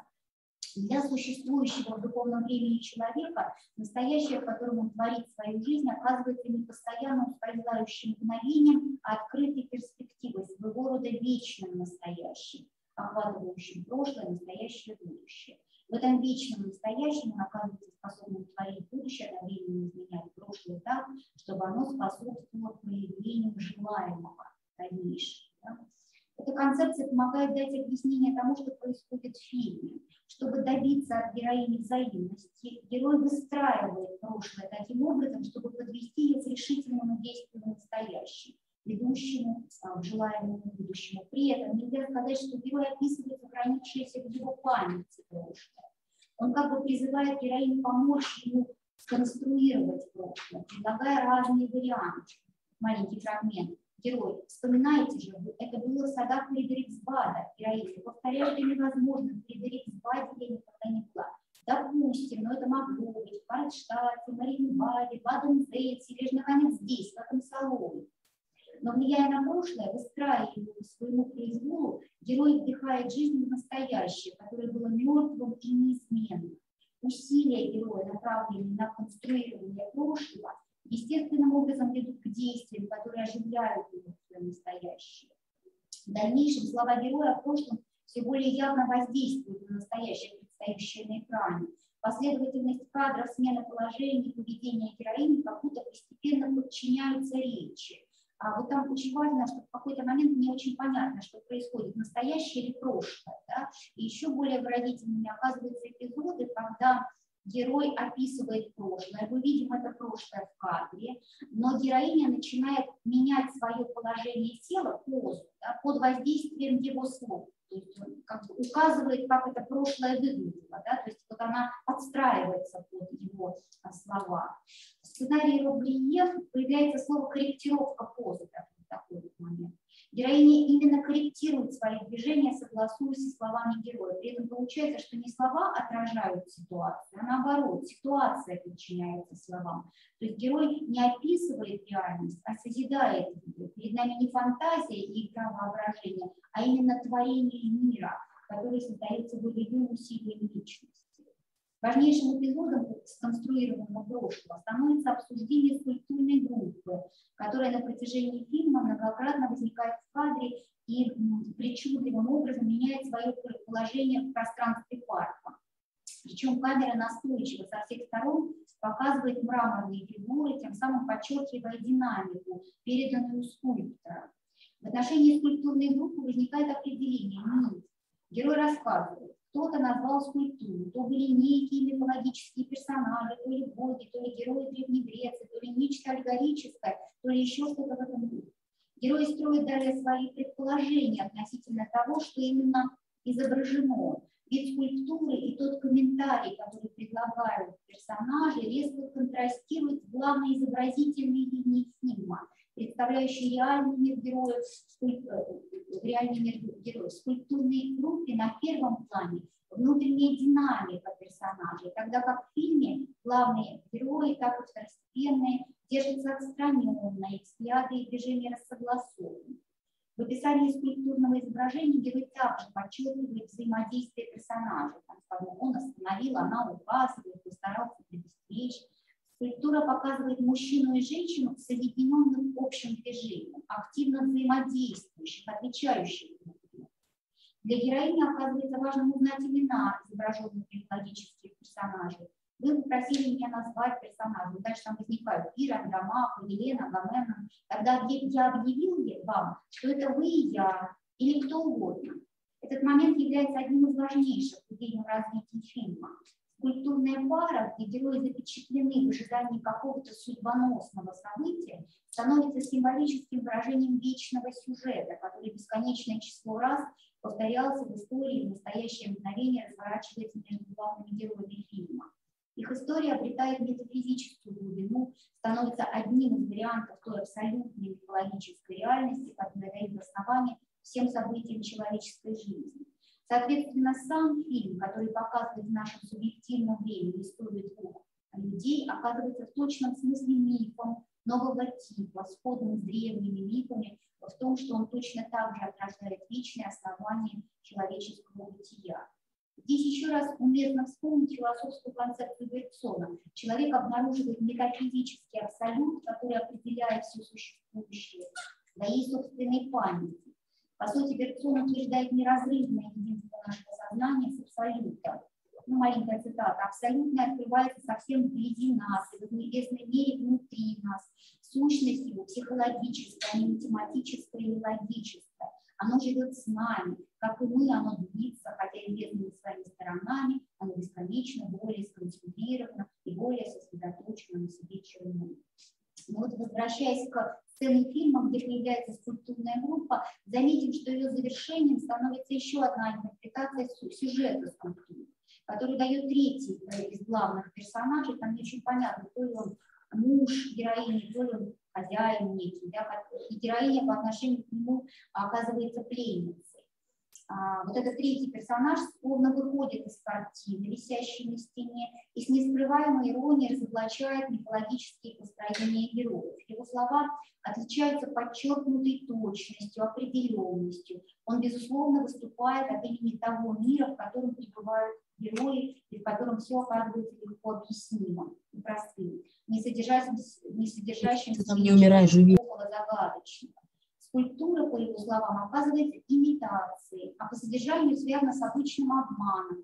Герой называет Карла Фрида. Мужик, мужик, процесса предательства. А, да, да. Эта интерпретация направлена на развенчание мифа, который был, был только что выстроен главными персонажами. Но по причине ее прямолинейности и однозначности она не достигает цели. Скульптура остается загадочным центром всего происходящего на экране.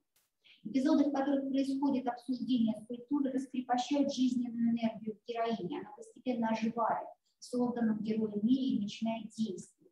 В следующих сценах прошлое становится все более насыщенным живым.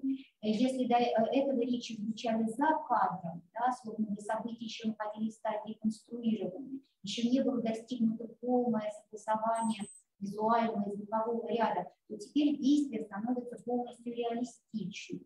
Постоянно происходящее столкновение прошлого и настоящего в конечном итоге приводит к движению мертвый мир, в котором существует героиня. Здесь также важна и обратная связь во взаимодействии прошлого и настоящего. До сих пор мы говорили, что прошлое создано усилием героя, но обретя конкретные очертания, все больше оживает, и прошлое начинает организовывать и переорганизовывать настоящее. Таким образом, созданный герой воображения прошлого начинает влиять на последующие события. В финале фильма героиня признает безусловную реальность общего прошлого, которое теперь распространяется не столько на отрезок в один год, сколько на все время их жизни и уходит из мертвого мира, который замкнут в эти барочные интерьеры. Вот на самом деле здесь я остановлюсь долго. А, а, в качестве даже не совсем удобно. Понятно, что это такой эксперимент, да, попытка объяснить загадочное кино, модернистское кино, сложное кино через а, русскую литературу, которая дает вот в лучших своих образцах, в данном случае творчество Достоевского, какие-то нам размышления для понимания того, что есть человек, его сознание и так далее. Спасибо. Спасибо большое.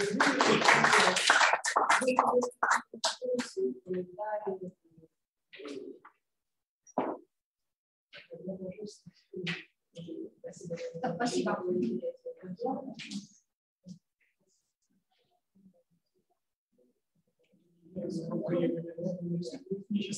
Смотрела, да. Еще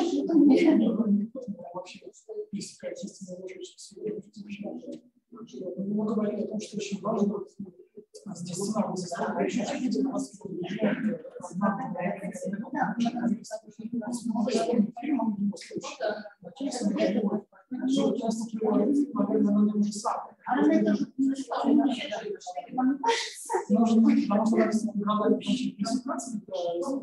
Да-да-да, там тоже, да, там есть смена,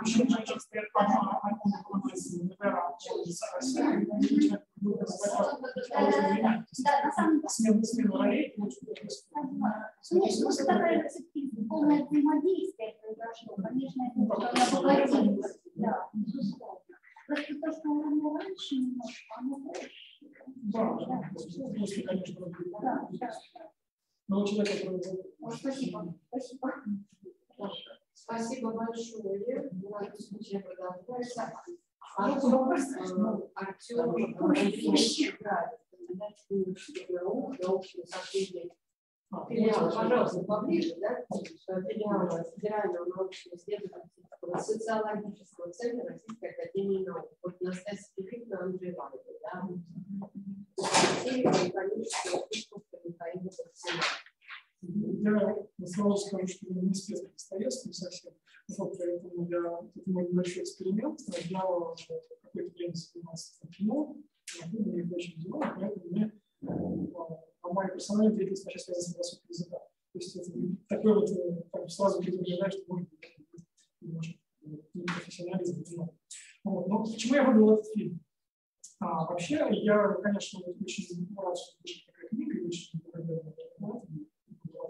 читать. Принципе, разные организации СДС мне попадались, и я задавался вопросом, а, а, насколько важно является для человека верная его интерпретация. То есть то, что мы обсуждали, немного мы говорили о том, что а, насколько интерпретатор должен быть близок к оригиналу, что он должен в первую очередь схватить. И вот как мне показалось, в этом фильме, Вайда, даже не фильм, пьеса, который мы уже обсуждали, а фильм Настасии, Вайда зашел сильно дальше, чем, чем, чем, чем, чем так сказать, мог зайти в другие своих фильмов.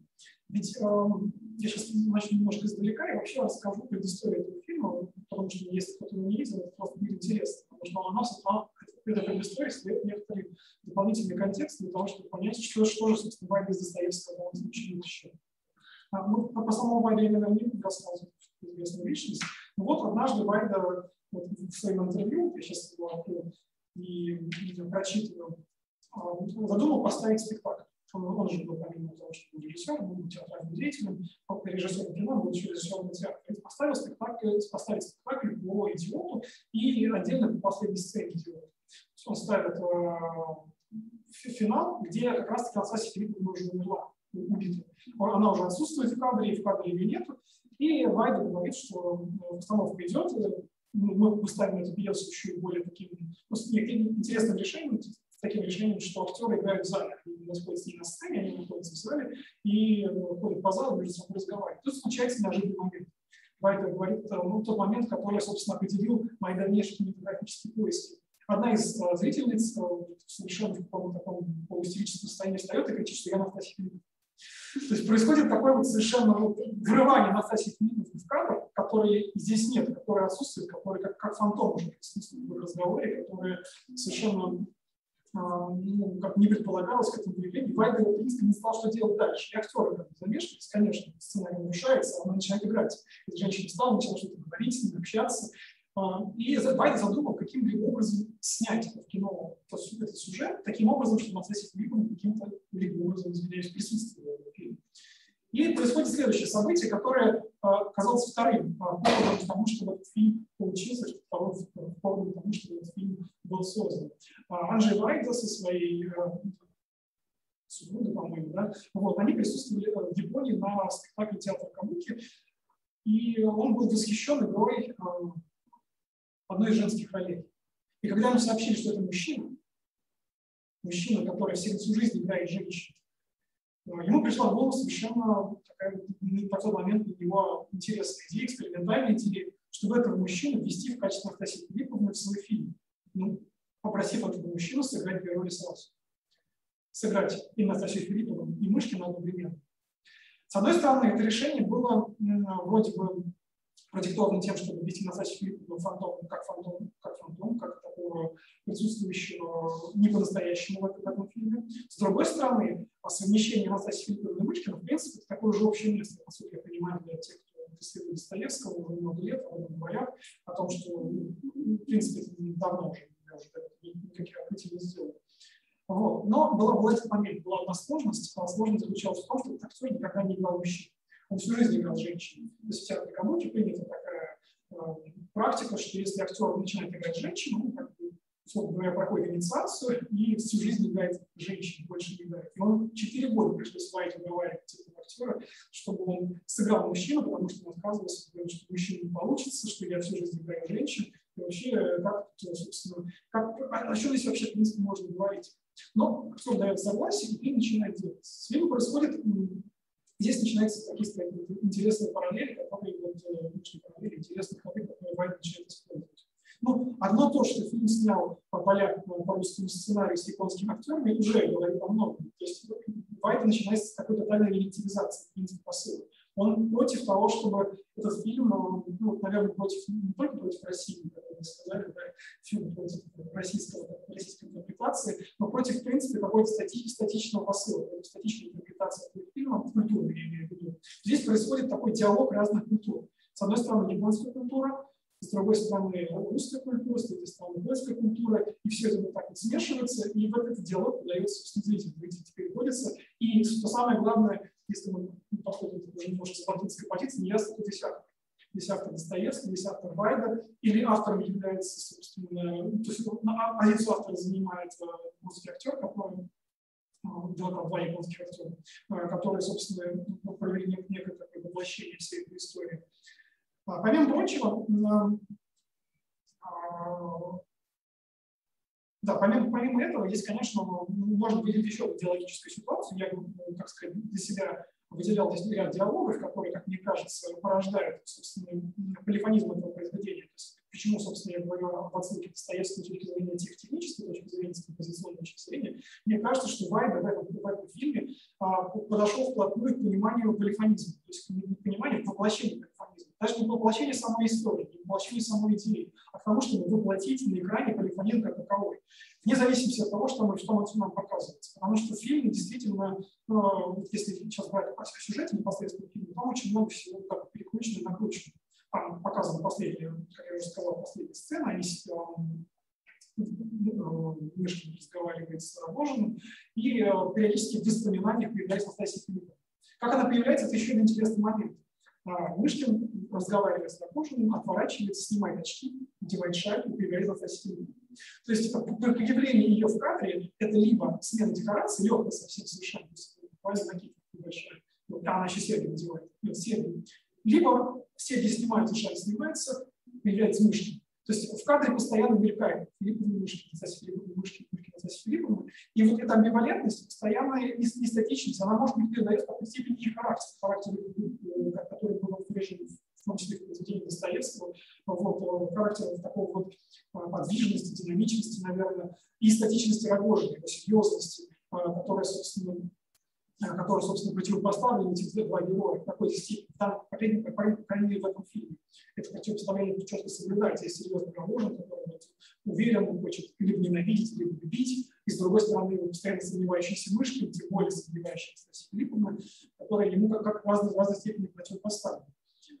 А, вот в этих диалогических ситуациях, вот, в принципе, в диалоге между теперь уже Рогожиным и Анастасией Филипповной тире Мышкиным, а в диалоге между театром, кино и литературой, такой тройной диалог, да, диалог между Польшей, Россией, Японией ну, и так далее. То есть несколько таких диалогических ситуаций, мне кажется, реализовался вот, называемый полифонический принцип, о котором я сейчас а, пытался говорить.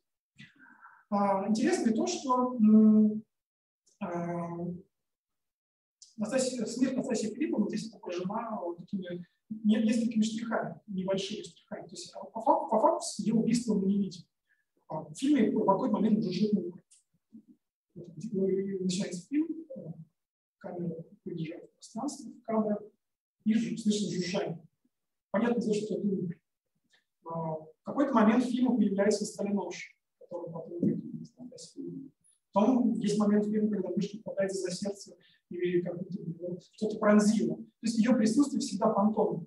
И вот эта фантомность, это, это не постоянство, это не серьезность, как мне кажется, выражает иную, еще, еще одну сказать, концепцию Путина, связанную с, с концепцией нормализации. Да, нормализации смеховой культуры, когда, собственно, Настасья Филипповна предстает тем, а, таким персонажем, и, собственно, Настасья Филипповна Терендышки предстает таким персонажем, который противится монологу Рогожина, который противится его, а, сопротивляется его серьезности как таковой.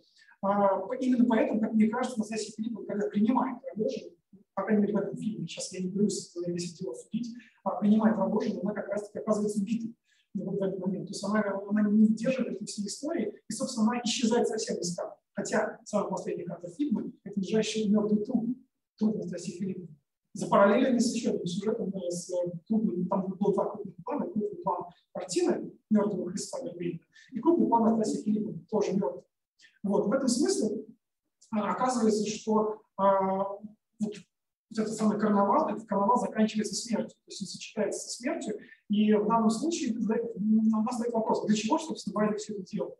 Ну, для чего все это? Что, какую задачу он к себе ставит? Конечно, я, может быть, э, он, он конечно, говорил в первую очередь о своих интервью этических каких-то своих потребностях. Он говорил, что есть Анастасия Филипповна, она как мышка, я хотела совместить, я хотел вести ее как фантом, а, такой, а, как, как в виде портрета, а еще в момент, что она появляется в фильме в виде портрета, в виде своего отражения в зеркале не раз. И в этом смысле она опять присутствует здесь как такой не как настоящий персонаж. Вот. А вот для чего, собственно, Вайд это сделал? И Здесь я опять же обратился к Бутину, к такому вот его прочтению Достоевского, связанному с тем, что как раз через выражение а, такого карнавала, выражение тотальной несерьезности, вроде несерьезности, в кавычках, если можно назвать, а, в принципе, выражается некая а, выражается некая абсолютная серьезность со зрителем. В этот момент в кадр входит зритель как активный участник. И он, собственно, теперь оказывается тем, кто, кто выбирает позицию относительно различных диалогов. Теперь он осуществляет диалог и с Польшей, с Россией, с Японией. Теперь он осуществляет диалог с, с разными героями, которые постоянно меняются э, своими позициями в ролях. Теперь он осуществляет различные диалоги с Анджеем Байденом и с Владимиром Павловичем Достоевским. Вот. Мне кажется, что вот эта вертикаль, при которой после тотальной релятивизации э, всего э, того, что Вайн пытался показать, усиливая, мне кажется, эффект Достоевского, который захватил на себя Мартин его полифоничности, он открывает, собственно, эту вертикаль, который может подойти зритель и посмотреть непосредственно фильм.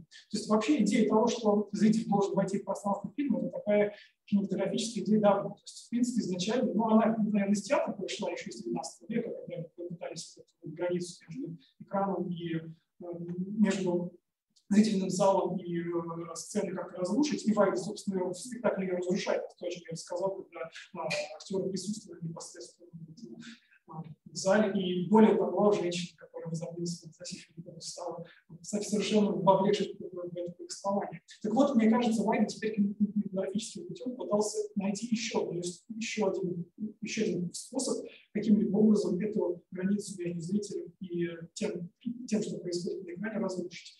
И мне кажется, эта попытка очень интересная. Это попытка как раз-таки, на мой взгляд, не интерпретация Достоевского с точки зрения семантики, с точки зрения повествования, с точки зрения сюжетной линии, а интерпретация Достоевского с точки зрения его а, подхода к организации, композиции, ну, с точки зрения литературы.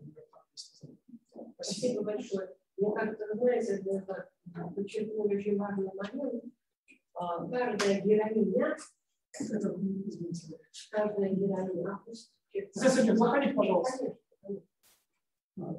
Каждая героиня, когда начинает общение с князем Мушкиным, там действительно происходит парадокс. Она начинает слышать в нем себя, свои мысли, свое родство, свой портрет. Поэтому прием, ну такой очевидный, да, сыграть мужчину и женщину, но это действительно, вот в князе Мышкине все находят опору в душе, да, как ангелы, мужское и женское, мысли Александра Александрийского и не находят вот эту плотскую, да, ну, то есть они как бы идут по этому, и вот это вот схватить кино таким примером.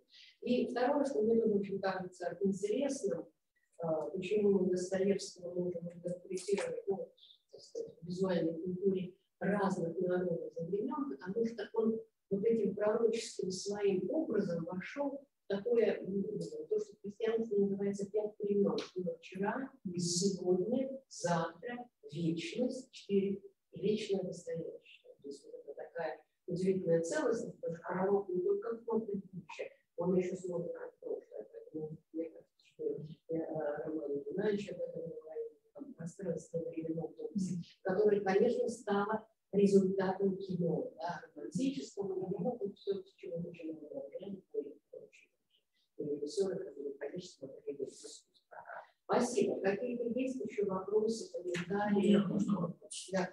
Скажите, пожалуйста, вообще, по вашему мнению, существуют ли какие-то границы в интерпретации Станицкого? Или, так сказать, с тем все спокойно? Я думаю, что человек, который высказывается, в том числе с кинокамерой, в принципе, не имеет никакого обязательства перед Достоевским, он делать все, что угодно. Другое дело, как мы его слушаем, мы можем его не слушать. То есть как, как как человек, который разговаривает с вами на улице, может сказать, извините, я с вами не хочу разговаривать. Это зритель голосует своими ногами. Все просто. А, вы знаете, вот во всех таких классических произведениях, ну, это известная фраза, смысл не дан назад. И каждое поколение, и каждый читатель, все, ну так или иначе прибавляет к этому смыслу, суд, суд. Но это творческая работа поколения ситуации. Там она и нас. Здесь есть промахи, здесь есть, безусловно, грубое чтение, примитивное, комедия ходит. Но, но когда-то Минихоль сделал такой прием, да, и базар, да, почему-то надо было в 20 веке показать, что человек, да, Ильинский, Бабанов, Рязанчик. Один говорит драматическую игру, да, за ним появляется комедия, да, то есть вот это вот полемся с нашей жизнью, которая не трагическая, и комическая, вот, вот оно так спрессовано, ну, это, конечно, идея, постмодернизма, то, что делает Катар да, ну, ничего. Имею смешанную оперу, там, я не знаю, там, Леви, э, к этому, ну, как говорится, хорошо, если это баланс.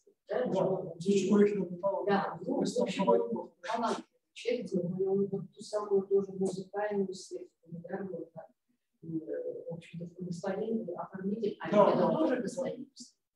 Да, спасибо большое. Вот я не очень поняла, кто у нас, у нас два человека должны были выйти в онлайн.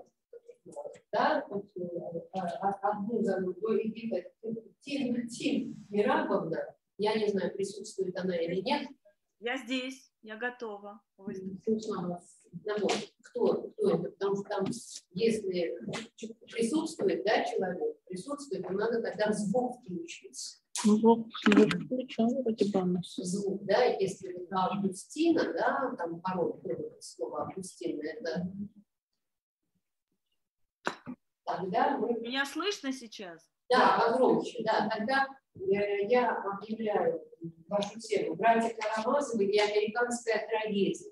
Вопрос состоящий в организации. Аспирант православного Свято-Тихоновского университета. Все правильно?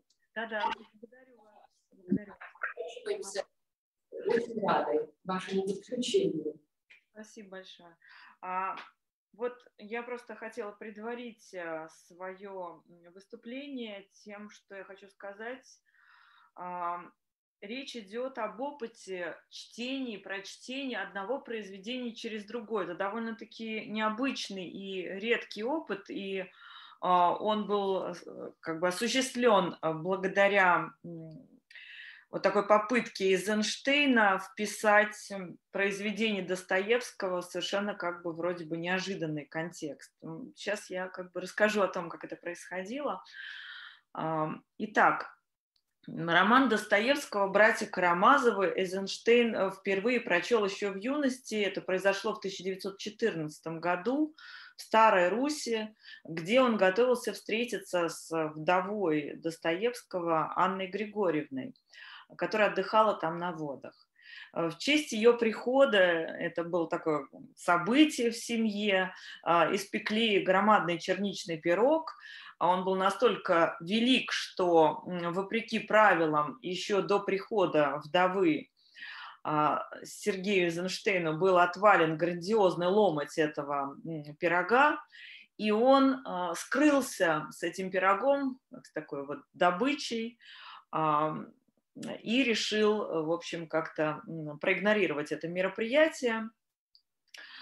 И позднее раскаяние такого благовоспитанного мальчика, позднее, да, уже взяло верх, он вернулся домой, но э, застал уже почтенную даму, даму в момент ее ухода, поэтому, собственно, вот э, как таковая встреча и разговор не состоялся, хотя он к нему готовился, он честно прочитал программное произведение – э, Федора Михайловича. И долгое время он как бы не, не обращался к теме братьев Карамазовых, э, не трогал это произведение, э, как-то его мысли были заняты совершенно другими материями. Он увлекся революцией и а, собственно, как бы вот в 20-е годы он снимал один за другим а, фильмы революционной трилогии. Но так сложилось, что один из этих фильмов, а, «Броненосец Потемкин» 25 -го года, съемок был очень востребован, очень популярен. Это, этот фильм принес всемирную славу Эйзенштейну, и его пригласили для работы в Голливуд. А это на самом деле был такой чрезвычайный случай, когда вот э, советского деятеля культуры э, выпустили на враждебный как бы Советскому Союзу Запад а в те годы, это уже 30-е годы, в общем, время такое, скажем, непростое, да, но, тем не менее, для Эйзенштейна сделали как бы исключение, его отпустили, как раз для того, чтобы показать миру, на что способна советская уже культура. И вот там, а, в Голливуде, он познакомился со многими американскими деятелями культуры, очень, конечно, интересными для него, известными и так далее. И на одной из а, ведущих студий Paramount ему предложили снять э, экранизацию американской трагедии Теодора Драйзера. И э, он как бы приступил к этой работе с большим вдохновением.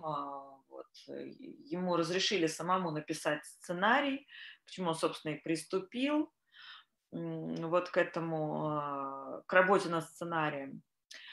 И чем дольше вот он работал над этим сценарием, тем больше он осознавал, что, а, собственно, а, фабула Драйзера его категорически не устраивает. Но я напомню, что, а, что происходит в романе. Значит, юноша Клайд Гриффит вступил в связь с молодой работницей Робертой, она забеременела, но впоследствии он встречает девушку из богатой семьи, Сондру, и Роберта становится как бы таким препятствием на пути к браку с а, Сондрой.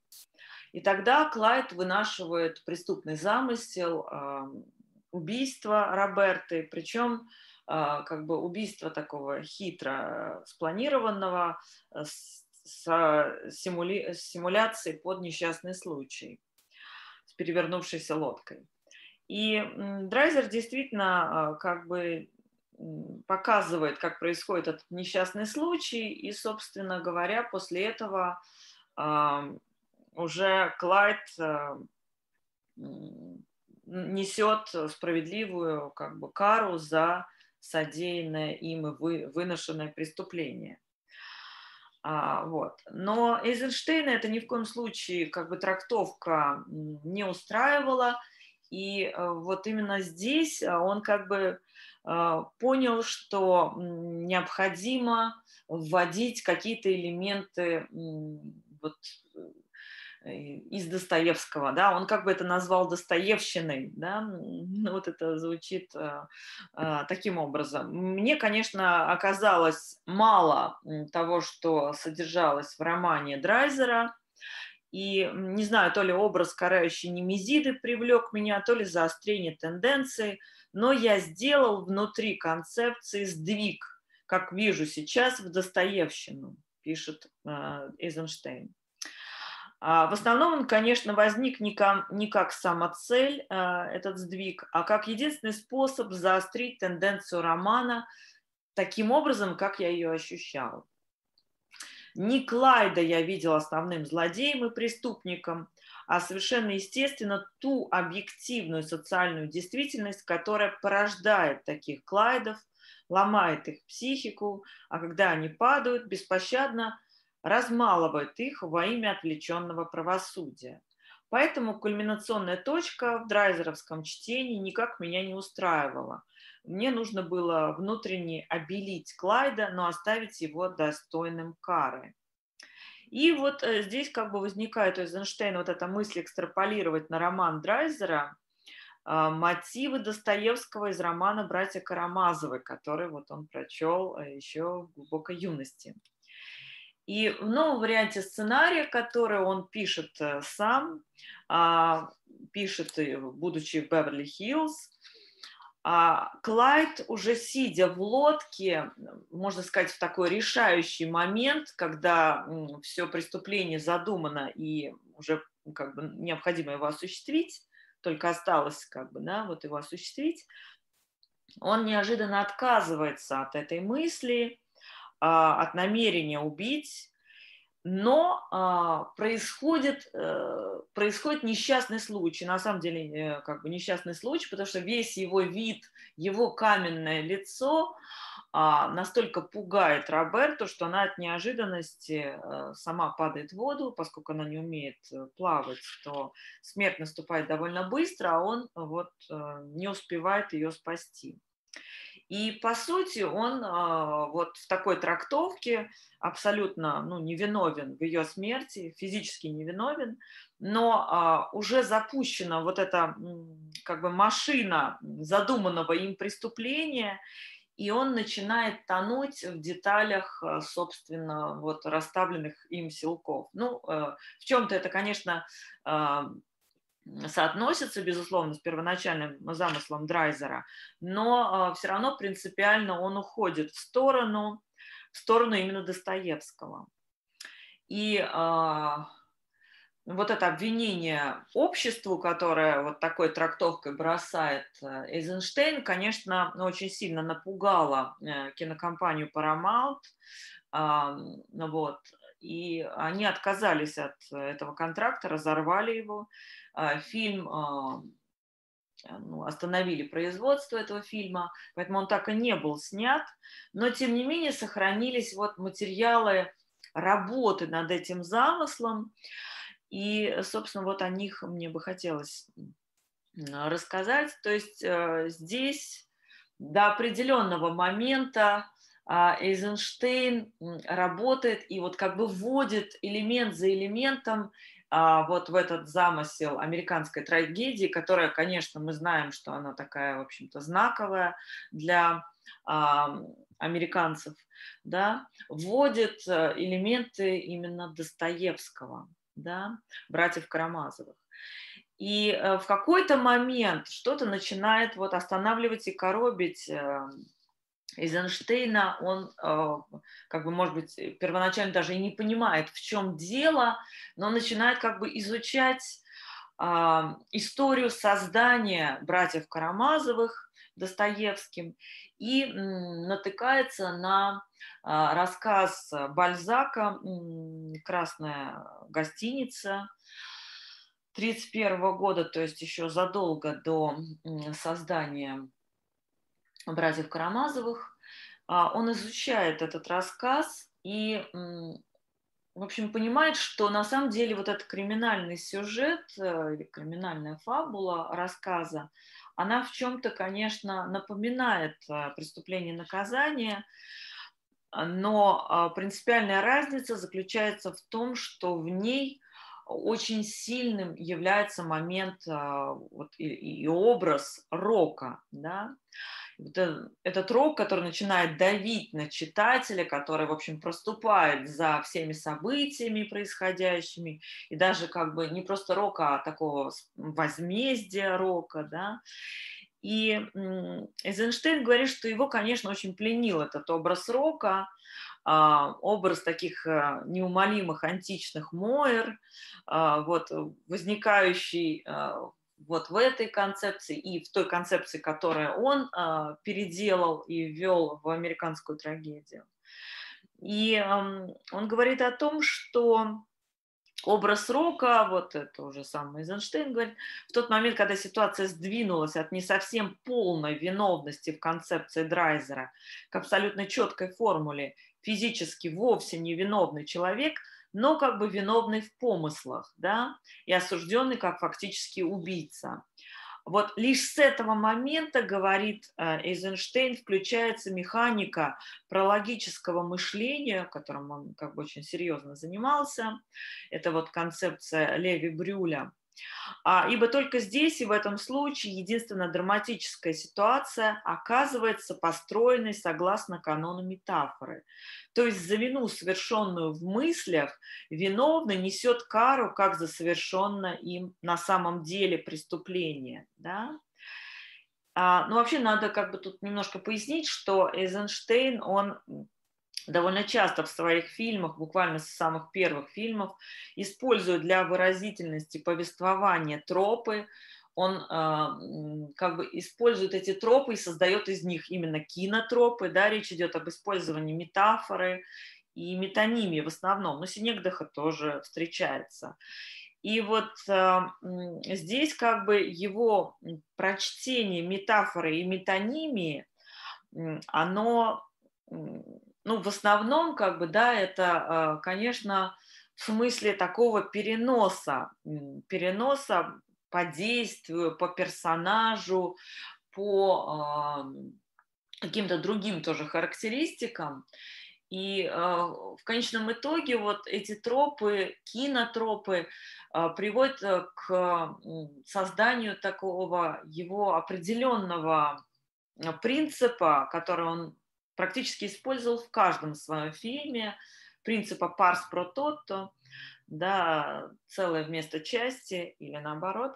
И Эйзенштейн, придерживаясь этого принципа, полагал, что вот э, тропы в кинематографе, они как бы указывают на такой прологический слой мышления и способствуют а, как бы к такому, что ли, вызыванию в зрителях да, определенных вот этих слоев прологического мышления, а, на которые направлены вот выразительные средства его фильма, сознательно направлены. И вот здесь, э, как бы в этом замысле, он опять-таки использует, э, использует метафору и метонимию как раз вот в таком значении. Да?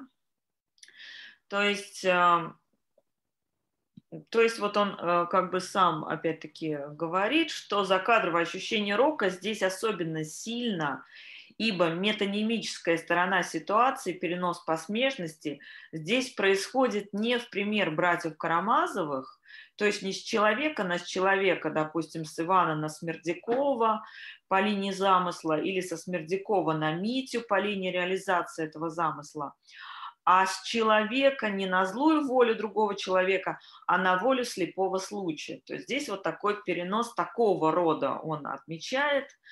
И согласно как бы вот этой теории литературоведения, которой он придерживается, да, предметы явления мертвой природы называются словами, выражающими живые явления.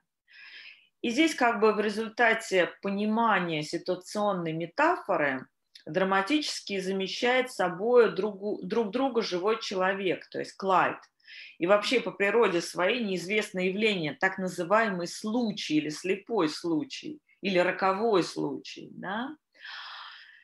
Между тем он функционально замещает собой этого человека, и на него как бы переносится его, то есть человека, действенная функция – Случай таким образом через прием метонимии замещает собой человека, и на него переносится вот эта действенная функция человека. Однако это еще не является причиной, почему в «Братьях Карамазовых» э, как он себе задает такой основной вопрос, почему, собственно, э, как бы вот он видит, что у Бальзака в этом рассказе, который предшествовал э, роману, есть вот это вот ощущение рока, да, а, есть ощущение возмездия, а, а в самом романе этого абсолютно нету, нету даже никаких а, намеков на это, да, и вот он как бы пытается для себя ответить на этот вопрос, да, что, собственно, позволяет Достоевскому избежать этой темы или что как бы переводит вот этот изначально криминальный сюжет а, в какую-то принципиально иную плоскость. И он а, как бы занимается изучением этого вопроса, а, но это, конечно, связано именно непосредственно с его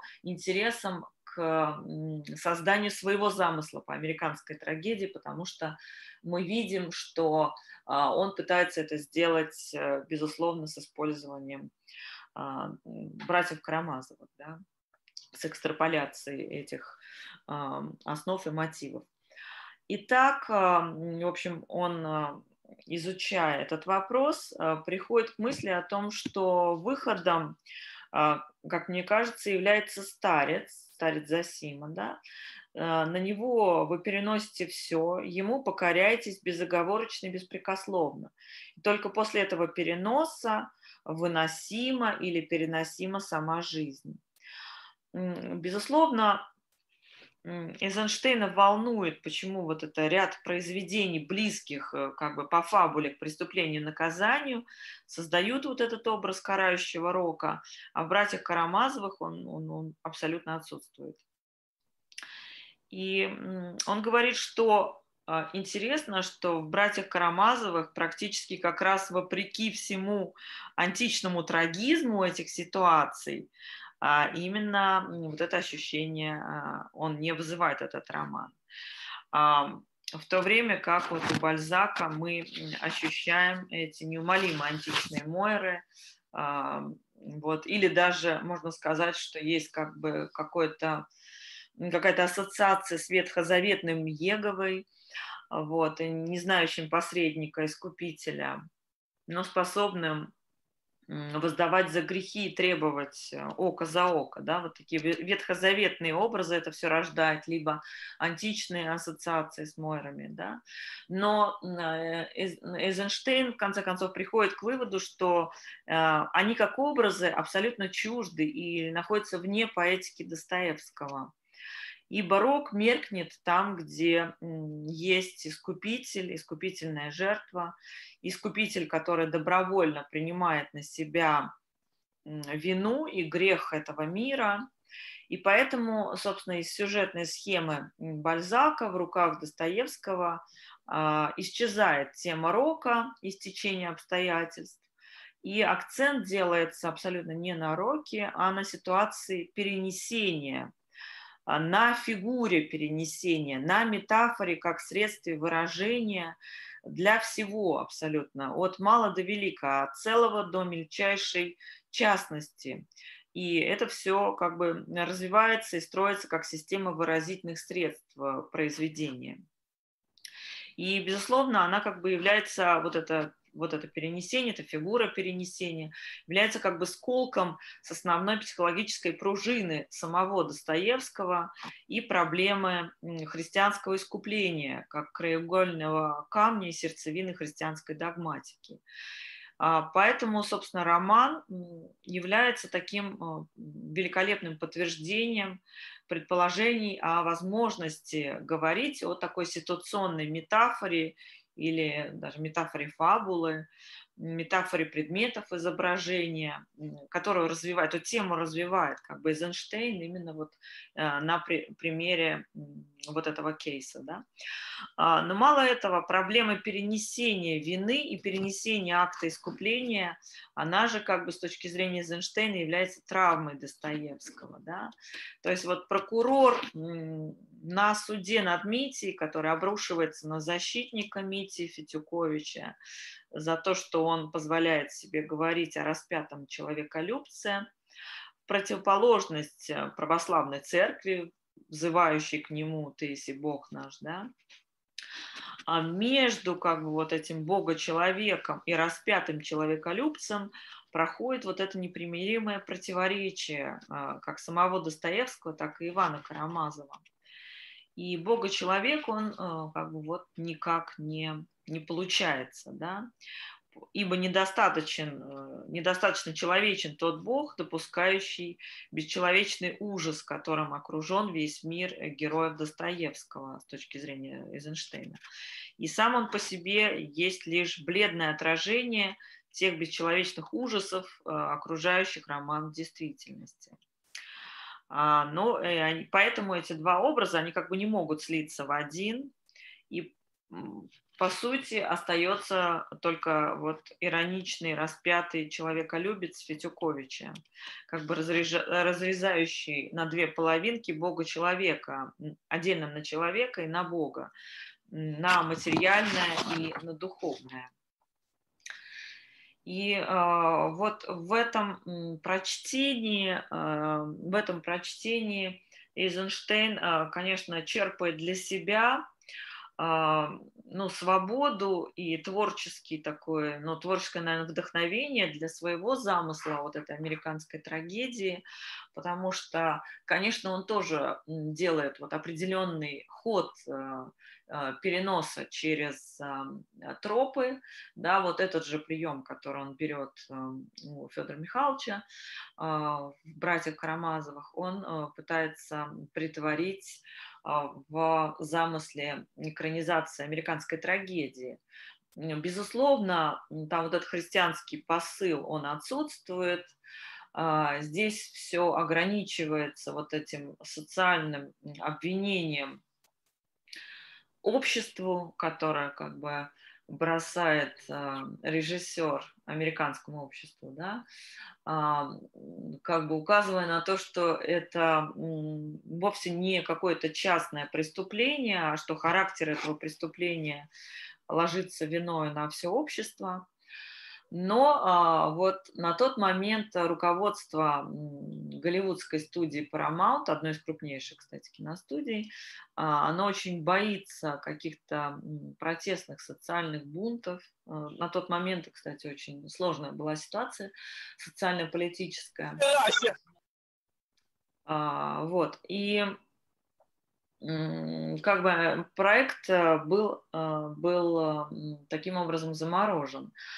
Но э, интересно, что такая подобная трактовка и именно а, Федора Михайловича Достоевского, именно братьев Карамазовых, вот подобный а, подход а, совершает никто иной, как Хичкок, да, когда он снимает свой фильм, блестящий фильм «Веревка» уже после Второй мировой войны, в конце 40-х годов, то как бы его замысел как раз и заключается вот в такого рода переносе, обобщении, а, но это сделано уже в связи с темой нацизма.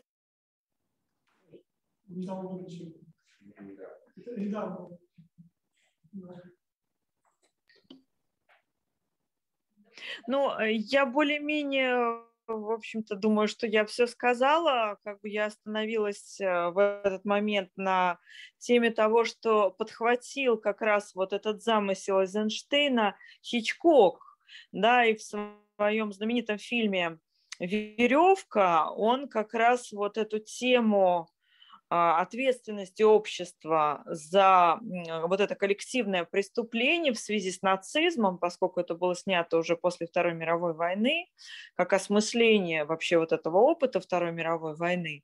И он это делает именно через преломление сюжета братьев Карамазовых.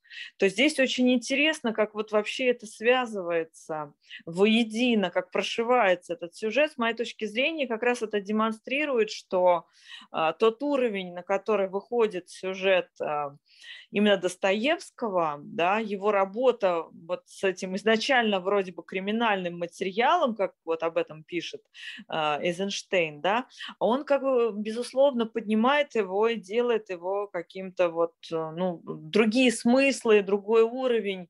Это превращает все это в метасюжет, который связывает таким образом, интересно, да, и Хичкока, и Эйзенштейна, и, возможно, здесь могла бы быть да, какая-то американская трагедия. То здесь вот интересно именно то, каким образом а, вроде бы вот этот какой-то общий фабульный материал благодаря а, использованию тропов, да, он может преображаться в совершенно а, как бы абсолютно разное прочтение а, очень, в общем-то, изначально близких, да, типологически близких таких вещей. Да, и мы, мы видим это как раз вот на примере э, того кейса, который я предложила вам. Большое спасибо вам за внимание и за вот это ожидание вынужденное. Простите, да, что так вышло. Мне тоже самой неудобно, что так получилось.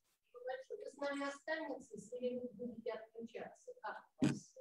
А, но дело в том, что как бы тут зависит от технической стороны связи, а, но я, да, готова там как-то остаться.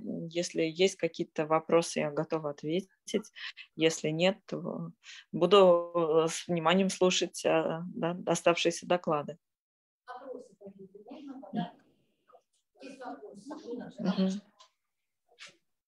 Э, Сюда. Э,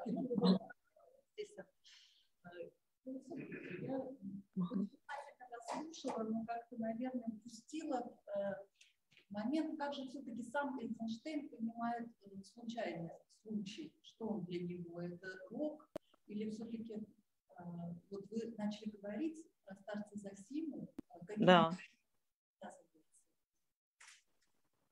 Нет, он как раз это разводит как э, абсолютные такие антиномии, да, А, вот случай и как раз прочтение Достоевского он разводит как э, антиподы, как, э, в общем, э, совершенно разные трактовки. И э, он-то как раз вот и изумляется, да, он на самом деле, э, как он пишет, да, э, я внимательно вчитывался в Достоевского, чтобы понять, за счет чего он, а, собственно, привлекает своих читателей. То есть он пытался какой-то секрет найти, да, а, Достоевского.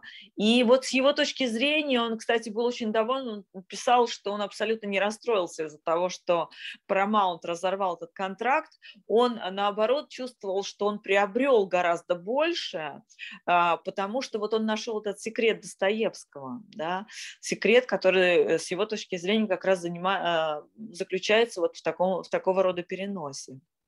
А случай, а, случай для него это как раз вот э, ну, нечто, что а, соотносится как раз с античностью, да, вот с античным пониманием а, рока карающего, безличного, да, безличного, а, безличной силы, да, а, чему э, а, противопоставляет Достоевский как раз вот эту искупительную жертву, и э, христианское прочтение темы искупления, да, и таким образом как бы он пре- преображает, да, возможное направление такого рода сюжета, да, вот. Слышно, да? Да, да, я вот специально когда тоже близко подношу, чтобы расслышать. Мгм.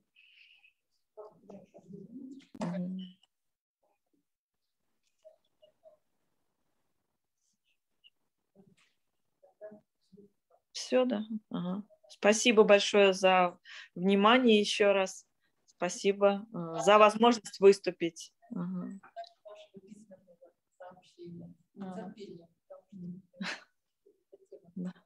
Благодарю вас. Благодарю вас.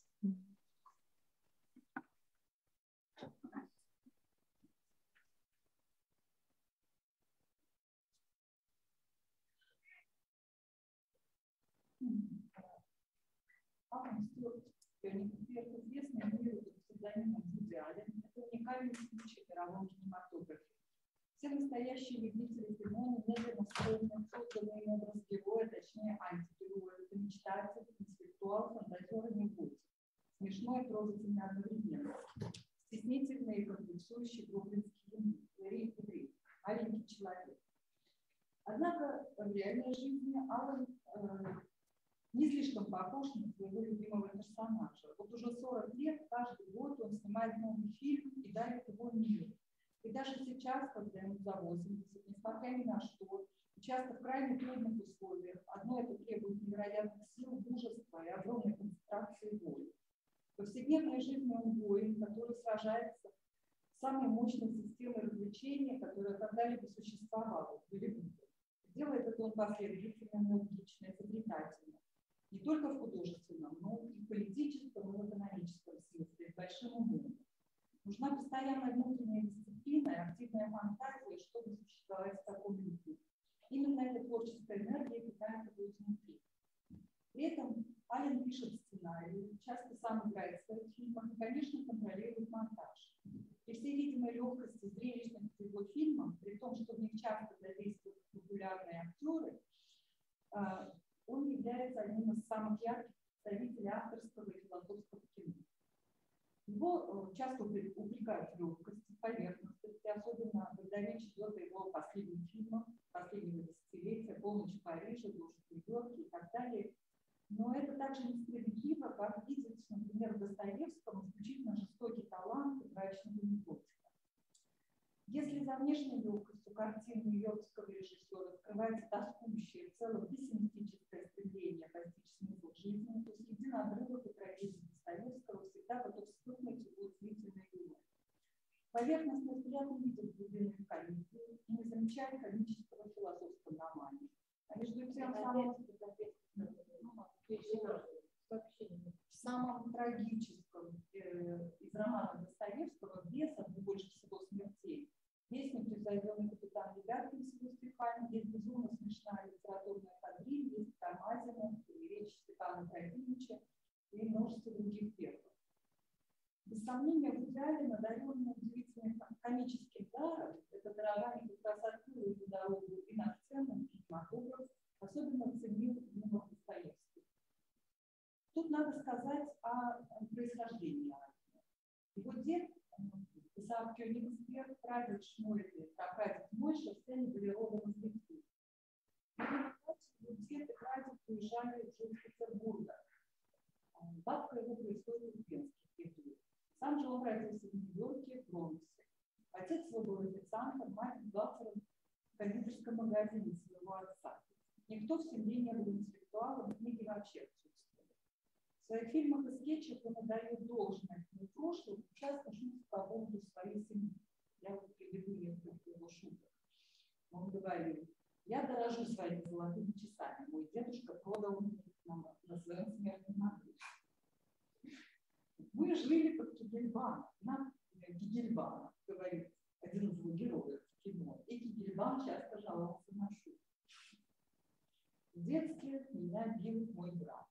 Моя мать била брата и меня. Отец бил мать, брата и меня. Соседи били отца, мать, брата и меня. Люди с других улиц били наших соседей и всех нас. Э, здесь я хочу сказать несколько слов, собственно, о специфике юмора Алина. Практически в каждом фильме есть забавные афоризмы, словечки, которые запоминаются и потом их все повторяют. Вот еще несколько типичных высказываний. А, который он сам повторяет из фильма в фильм, из своих интервью. Когда его спрашивают, вы снова думаете о смерти, вы снова э, размышляете о фильмах, он говорит, мое отношение к смерти прежнее, я сильно хоть. Мне не так нужно бессмертие в моих творениях, мне нужно такое, чтобы лично я не умер. Жизнь – это болезнь, передающаяся половым путем и со стопроцентным силой. Э, и часто он рассказывает э, такой анекдот, который определяет его отношение к жизни в целом. Две женщины отдыхают на курорте. Одна говорит, еда здесь отвратительная, а другая ей отвечает, да, и к тому же такие маленькие волосы. Вот это то, что я думаю. Эту последнюю фразу мы слышим в самом начале фильма Энни Холл. Еда отвратительная, это значит, что жизнь сама по себе ужасна, но вопреки этому мы хотим еще и еще. И, возможно, именно это объясняет необыкновенную плодотворность режиссера. Шутка у него как бы источник энергии, способ сказать нечто бесконечно более сложное. Идеально не сводим, конечно, по это значительно объединило бы его как явление. Его шутки выходят за рамки чистого желания завоевать публику ради успеха. Его шутки касаются метафизических вопросов почти всегда. Как-то он сам определил себя как атеистический теолог-экзистенциалист, который заявляет, иногда Бог все-таки может существовать, но только не в бюджете. Эффект достигается контрастом между отчаянием человеческого существования в целом и частной жизнью, между абсолютным и относительным. Юмор оказывается спасительным выражением воли этого слабого конечного существа, которое посредством юмора как-то примиряется или не примиряется и безнадежно. И одновременно э, в этом юморе, в этом отношении к жизни есть ресурс, что Искусство смеяться э, над своим горем. Это, кстати, похоже на, собственно, русский юмор. Мы тоже можем повторить след за Вуди Алленом, который говорит это об американцах. Наше прошлое печально, наше настоящее катастрофично, счастье у нас нет. Здесь можно вспомнить Фрейда, который довольно много значит для режиссера, психоаналитики самых разных типов часто становятся персонажами его фильма. Для Фрейда болезнь связана с фиксацией. Смех – это способ дефиксации, освобождения. И в этом смысле, смысле смех родился терапии. Юмор не просто самоутверждение, не просто ирония, что в месте он становится орудием мысли и способом выживания. Однако повторю, что к афоризмам его сводить нельзя. В качестве режиссера его деятельность значит гораздо больше, она сложнее и богаче мы вернулись вот, мне пришлось посещать семье, а, в которой говорили на идиш. Мальчик получил ортодоксальное образование, очень рано отошел от традиционной религиозной жизни. Будущий режиссер воспитывался и образовывался сам, в основном в кинотаврах, и жадностью смотрел все, что оказывалось. К счастью, 40-е годы в Америке это был золотой век Голливуда.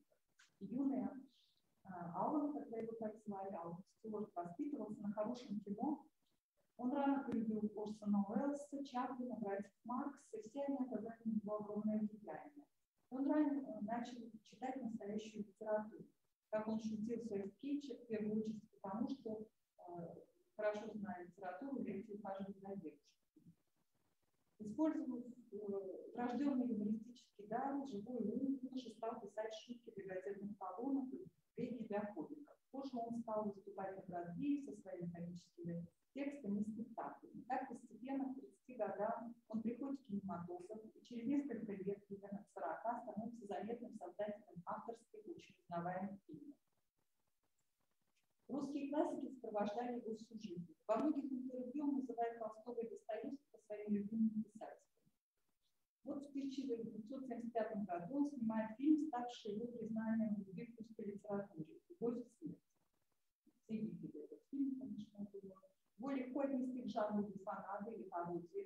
причем на всю классику сразу. Но вот что он утверждал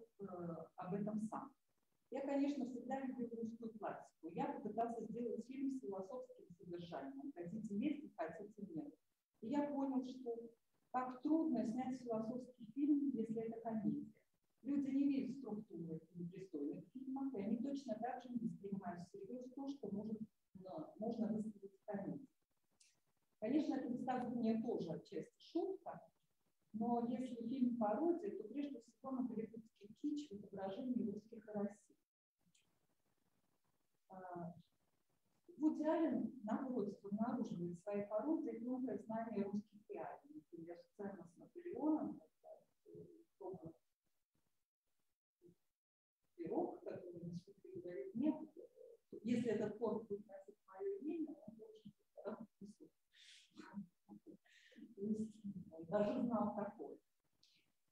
При его языковой четкости он дает своему герою молитвенно смешное имя. Его зовут Борис Грушев. Образ этого Бориса тоже не забываем. Итак, с другой стороны, пародия на Голливуд, с одной стороны, пародия на голливудские клише, с другой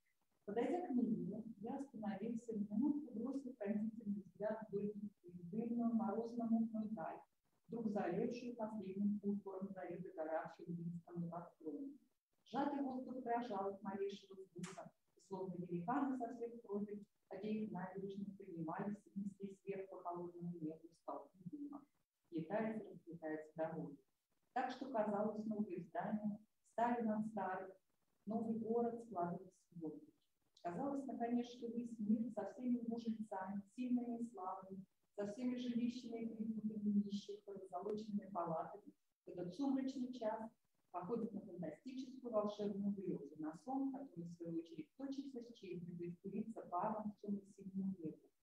Какая-то странная мысль вдруг зашевелилась во мне, я вздрогнул, и сердце мое как бы облилось в мгновение горячим ключом крови, вдруг кипевшее от прилива могущественного, доселе незнакомого мне ощущения. Будто что-то понял в эту минуту, до сих пор только шевелившееся во мне, еще не осмысленно, как будто бы разрыл что-то новое, совершенно новый мир мне незнакомый, и известно только по каким-то темным слухам, по каким-то таинственным знакам. Я полагаю, что именно в эти минуты началось мое существование. Ну, такие слова не говорят.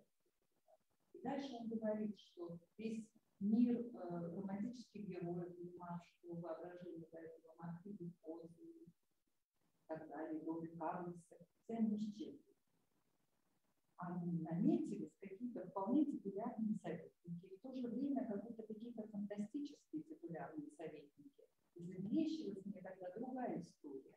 В каких-то темных углах, какое-то титулярное сердце, честное, чистое, нравственное, преданное начать. А вместе с ним какая-то девочка оскорбленная, грустная, и глубоко разорвала сердце эта история. Вот, собственно, э, его шаг к реализму в высшем смысле был поведения. После этого он «Верный путь».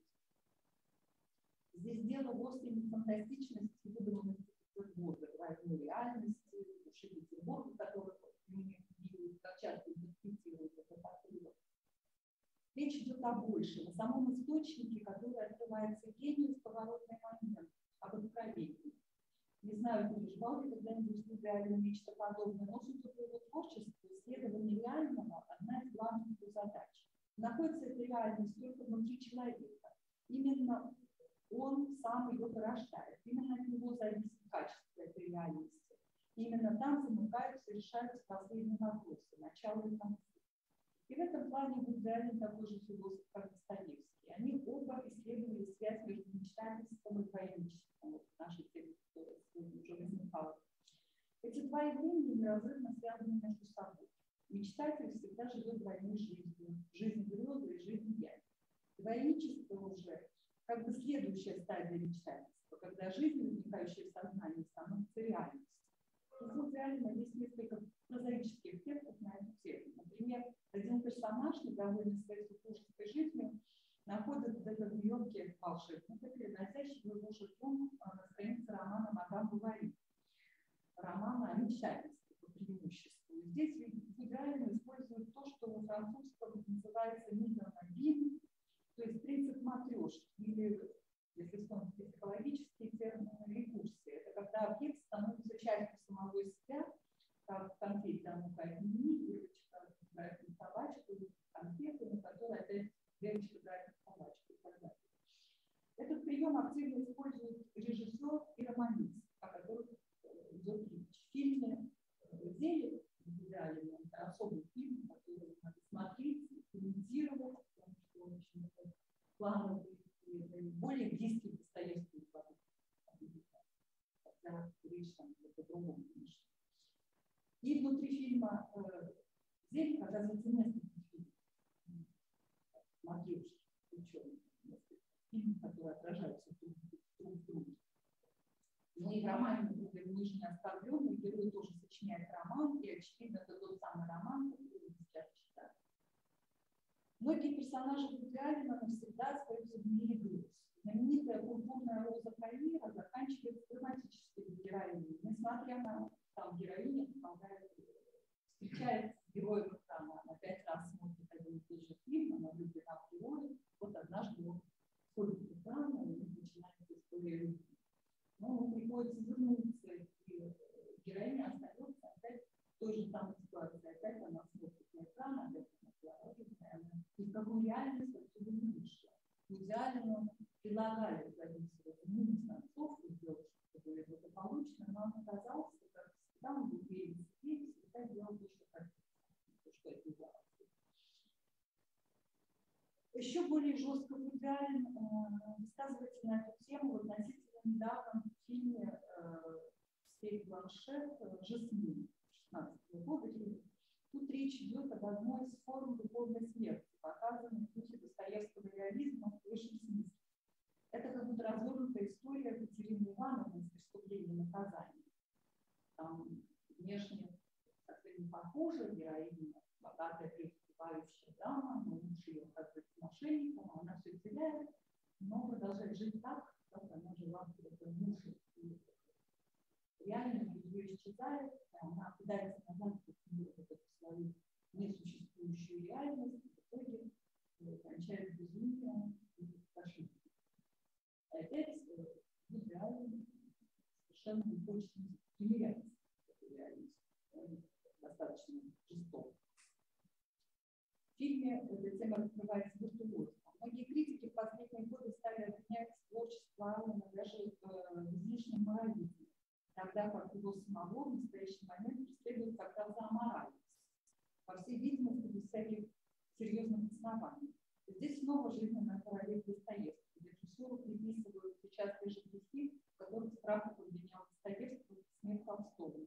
С ним суется как раз его многолетняя подруга и актриса, игравшая во многих фильмах, Мия Шеру, обвиняя своего бывшего друга в сексуальном насилии над несовершеннолетним ребенком девочкой. Но я вам честно скажу, если почитать внимательно это дело, развалить совершенно нереально не виноват человек, которому даже просто было бы некогда заниматься этим всем. Он работает, заканчивает снимать Конечно, у него были возлюбленные подруги, молодые подруги, но педагогически его совершенно нет. Достоевский учился реализму у Бальзака, и ему самому рано открылась человеческая комедия, где он человеческой комедией можно было бы назвать весь корпус фильмов в Если говорить об общем художественных приемах, опять же, неразрывно связанных с творческим типом личности обоих художников, можно заметить следующие общие черты. Монологичный, непрерывный монолог и эффект, эффект которого в импровизации, за которым стоит фигура автора дневника. И актеры, персонажи, в случае Достоевского, становятся полноценными соавторами. Кинематографически это делается с помощью статичной камеры, которая снимает сцену единым кадром. Как мы все видел фильмы в идеале, но получается, конечно, там господствует монолог. И диалог в этот момент камера замирает, и это непрерывное следование. Точно так же у Достоевского в часто оказываются два стоящих персонажа или один персонаж со своим монологом. В идеале показывает э, разговоры исчерпывающие. Как это Достоевский в своем действии разговоры показаны целиком, до конца. Оба художника, оба они художники города, их интересует человек городской среды. В идеале он сказал в одном интервью, не уверен, что я мог бы жить где-нибудь вдали от русской части города. Всегда в центре его существования, он играет сексуальной памятью и виртуозно передает атмосферу городов, разных городов, Нью-Йорка, Парижа, Барселоны, Лондона, последние были какие-то. Недавно мы тоже делали, высказался, что с удовольствием, если бы его позволили, он снял бы э, картину Цибула. А, теперь несколько слов, собственно, об экранизации, кавычках, преступления и наказания. Их у Галина э, примерно пять. Роман «Преступление и наказание» стал режиссера, для режиссера одним из самых важных источников матрицы его визуального размышления над критическими конфликтами современности. Первым, наверное, стал фильм 1989 года «Преступление и проступки». Э, главный герой Иуда Розенталь, э, офтальмолог, преуспевающий нью-йоркский еврей, которого все хорошо, у которого семья, счастливая жизнь, и имеет любовница, разумеется, в какой-то момент решает убить любовницу, потому что она мешает брать все сказать жизни. И э, подготовить убийство, организовав. Спросить его, кстати, исполнить совершить преступление. Он э, дальнейшие практически до конца фильма прибегает к тому, что можно назвать мультисовестью. Пытается э, понять, есть ли какие-то границы для него в жизни. И в конце концов решает, что раз Бога нет, все позволено, он совершил это преступление совершенно спокойно, может не все. На этом фильм, собственно, заканчивается. Но это не значит, что это такова же позиция, собственно, взгляда, потому что помимо Иуда Ланталя есть еще несколько других героев, э, которые смотрят на ситуацию иначе.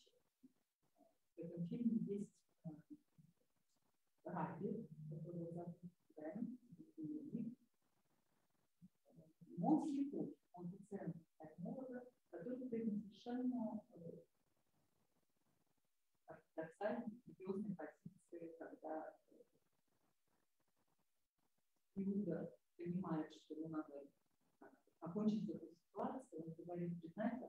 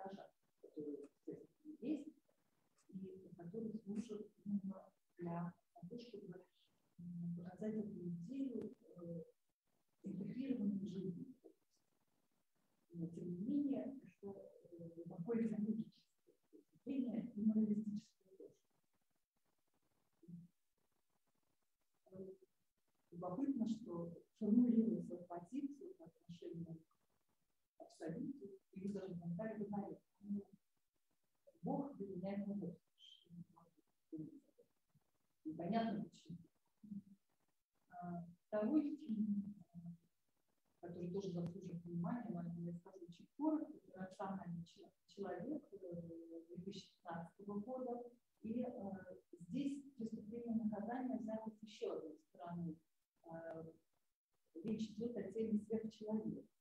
Герой фильма «Давайте же вдруг э, утратил смысл жизни. Он уже испробовал все, он горячих точках изучался систему мысли, и теперь он решил взять на себя функцию карающего Бога.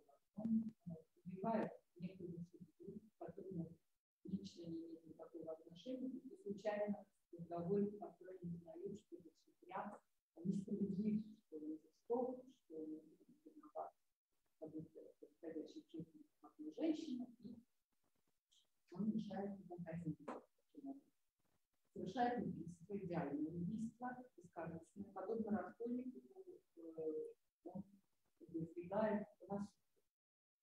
Но здесь смешивается как раз случай. И тема случая для меня тоже очень интересна, потому что я читала очень много рецензий на следующий фильм, интерпретировал тоже преступление и наказание мальчиком, где тема случая ставится центр произведения. И вот критики говорят, что, опять же, случайность, она спасает героя правосудия, и он остается при своем, то есть идеален на стороне героя совершившего преступление, который судить не будет карать, он будет с этим жить спокойно. Но получается, что в общем контексте, если рассматривать все фильмы на тему преступления и наказания, можно сказать, что случай здесь приобретает совершенно другой смысл. Он э, дополнительный момент для героя, чтобы совершить еще один мир. И здесь Аллен занимает позицию как раз э, моралистическую, позицию судьи. Особенно это видно в последней сцене фильма «Матч где мы видим, что герой, совершивший это преступление, он, получивший все, чего он хотел, остается в семье, э, при своем богатстве, при своем благополучии, а любовница, которая его симпатизировала, уходит из его жизни, и ничего ему больше не грозит. Но э, чисто художественное решение, которое предлагает идеально таково, э, у него рождается ребенок, все у него хорошо, может жить дальше. Но вот эта вот семья, э, его жена, его родившийся ребенок, они освещены, а герой стоит в стороне, и у него падает тень. И понятно, что он уже больше никогда не будет вместе с ним. Он удивил себя преступлением. Пусть он не получит никакой, не будет его раскаяния, это покаяние, но он никогда не будет э, воистину человек.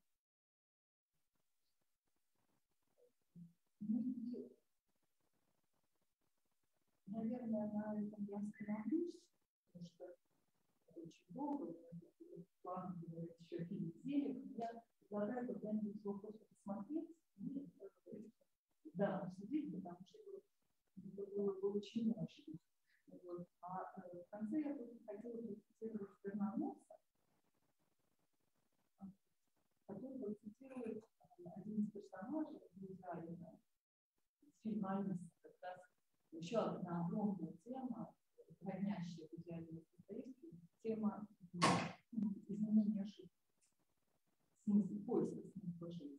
Вот Алиса, которая тоже из такой же ужасной среды, как многие герои Алина, она решает в конце стать, уехать в Индию, в Калькутту и работать в архитектуре. Фильм начинается с из Бернамуса. Алиса произносит. Мы совершенно ничего не поняли в современной цивилизации. Если мы видим, э, если мы не видим, что она составляет настоящий заговор против любых форм жизни. И в идеале всем своим творчеством приказ современность в отсутствии э, серьезных отношений с людьми. Э, повторюсь, идея фильма состоит в том, что может ли человек вести себя достойно, если взгляд Бога не останавливается на нем. И вывод, который делает идеален, что это очень-очень сложно. Он говорит, это катастрофа, что мир утратил Бога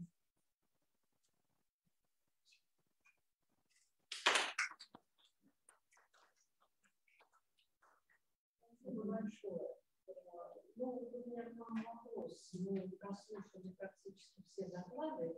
Э, ну, у нас маленькая дискуссия. И я просто хочу ну, там притомиться, мы действительно сидим очень долго, отпустить неделю, хотя у меня есть маленькое сообщение, которое стояло первым, и я, я его сделала последним и могу и отменить, потому что все можно усердие можно все перевернуть даже раз. Поэтому если мы уже невместимы, и кто уже устал, то, к сожалению, занятия. Да, пожалуйста. Поэтому мы как, как мы поступим, так и будет э, Роман Геннадьевич. Наверное, можем ну, сейчас оставить переключить не Короткий вопрос можно совсем? Да, пожалуйста. Может, не совсем представительский вопрос. То есть, если понимаете сами, в какой момент идеально представить снимать себя, да, то есть он в кадре, он он не оказывается. То есть большая часть фильма правильно герой, он смотрит на себя со стороны. Поздних фильмов идеально отсутствует. Например, иррациональный человек, которого мы назвали, там, Макин роли, вы знаете, «Луч Парижа», да, они окрашены были серьезной краской, они не комментировали в этом смысле. Но с чем это связано? Ну, Аля это рассказывает, то есть есть эта история, почему, собственно, он из кадра пропадает. Это связано с какими-то переменами, поисками или прочим. Постарел, да? Он раньше, раньше не тоже был, как бы, народу Украины, он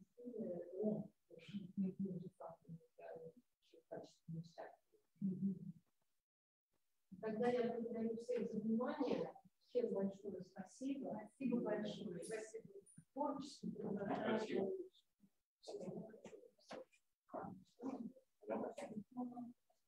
К сожалению, тысячу нельзя, потому что институт выпустил таким смешным тиражом, что на таком нашем сайте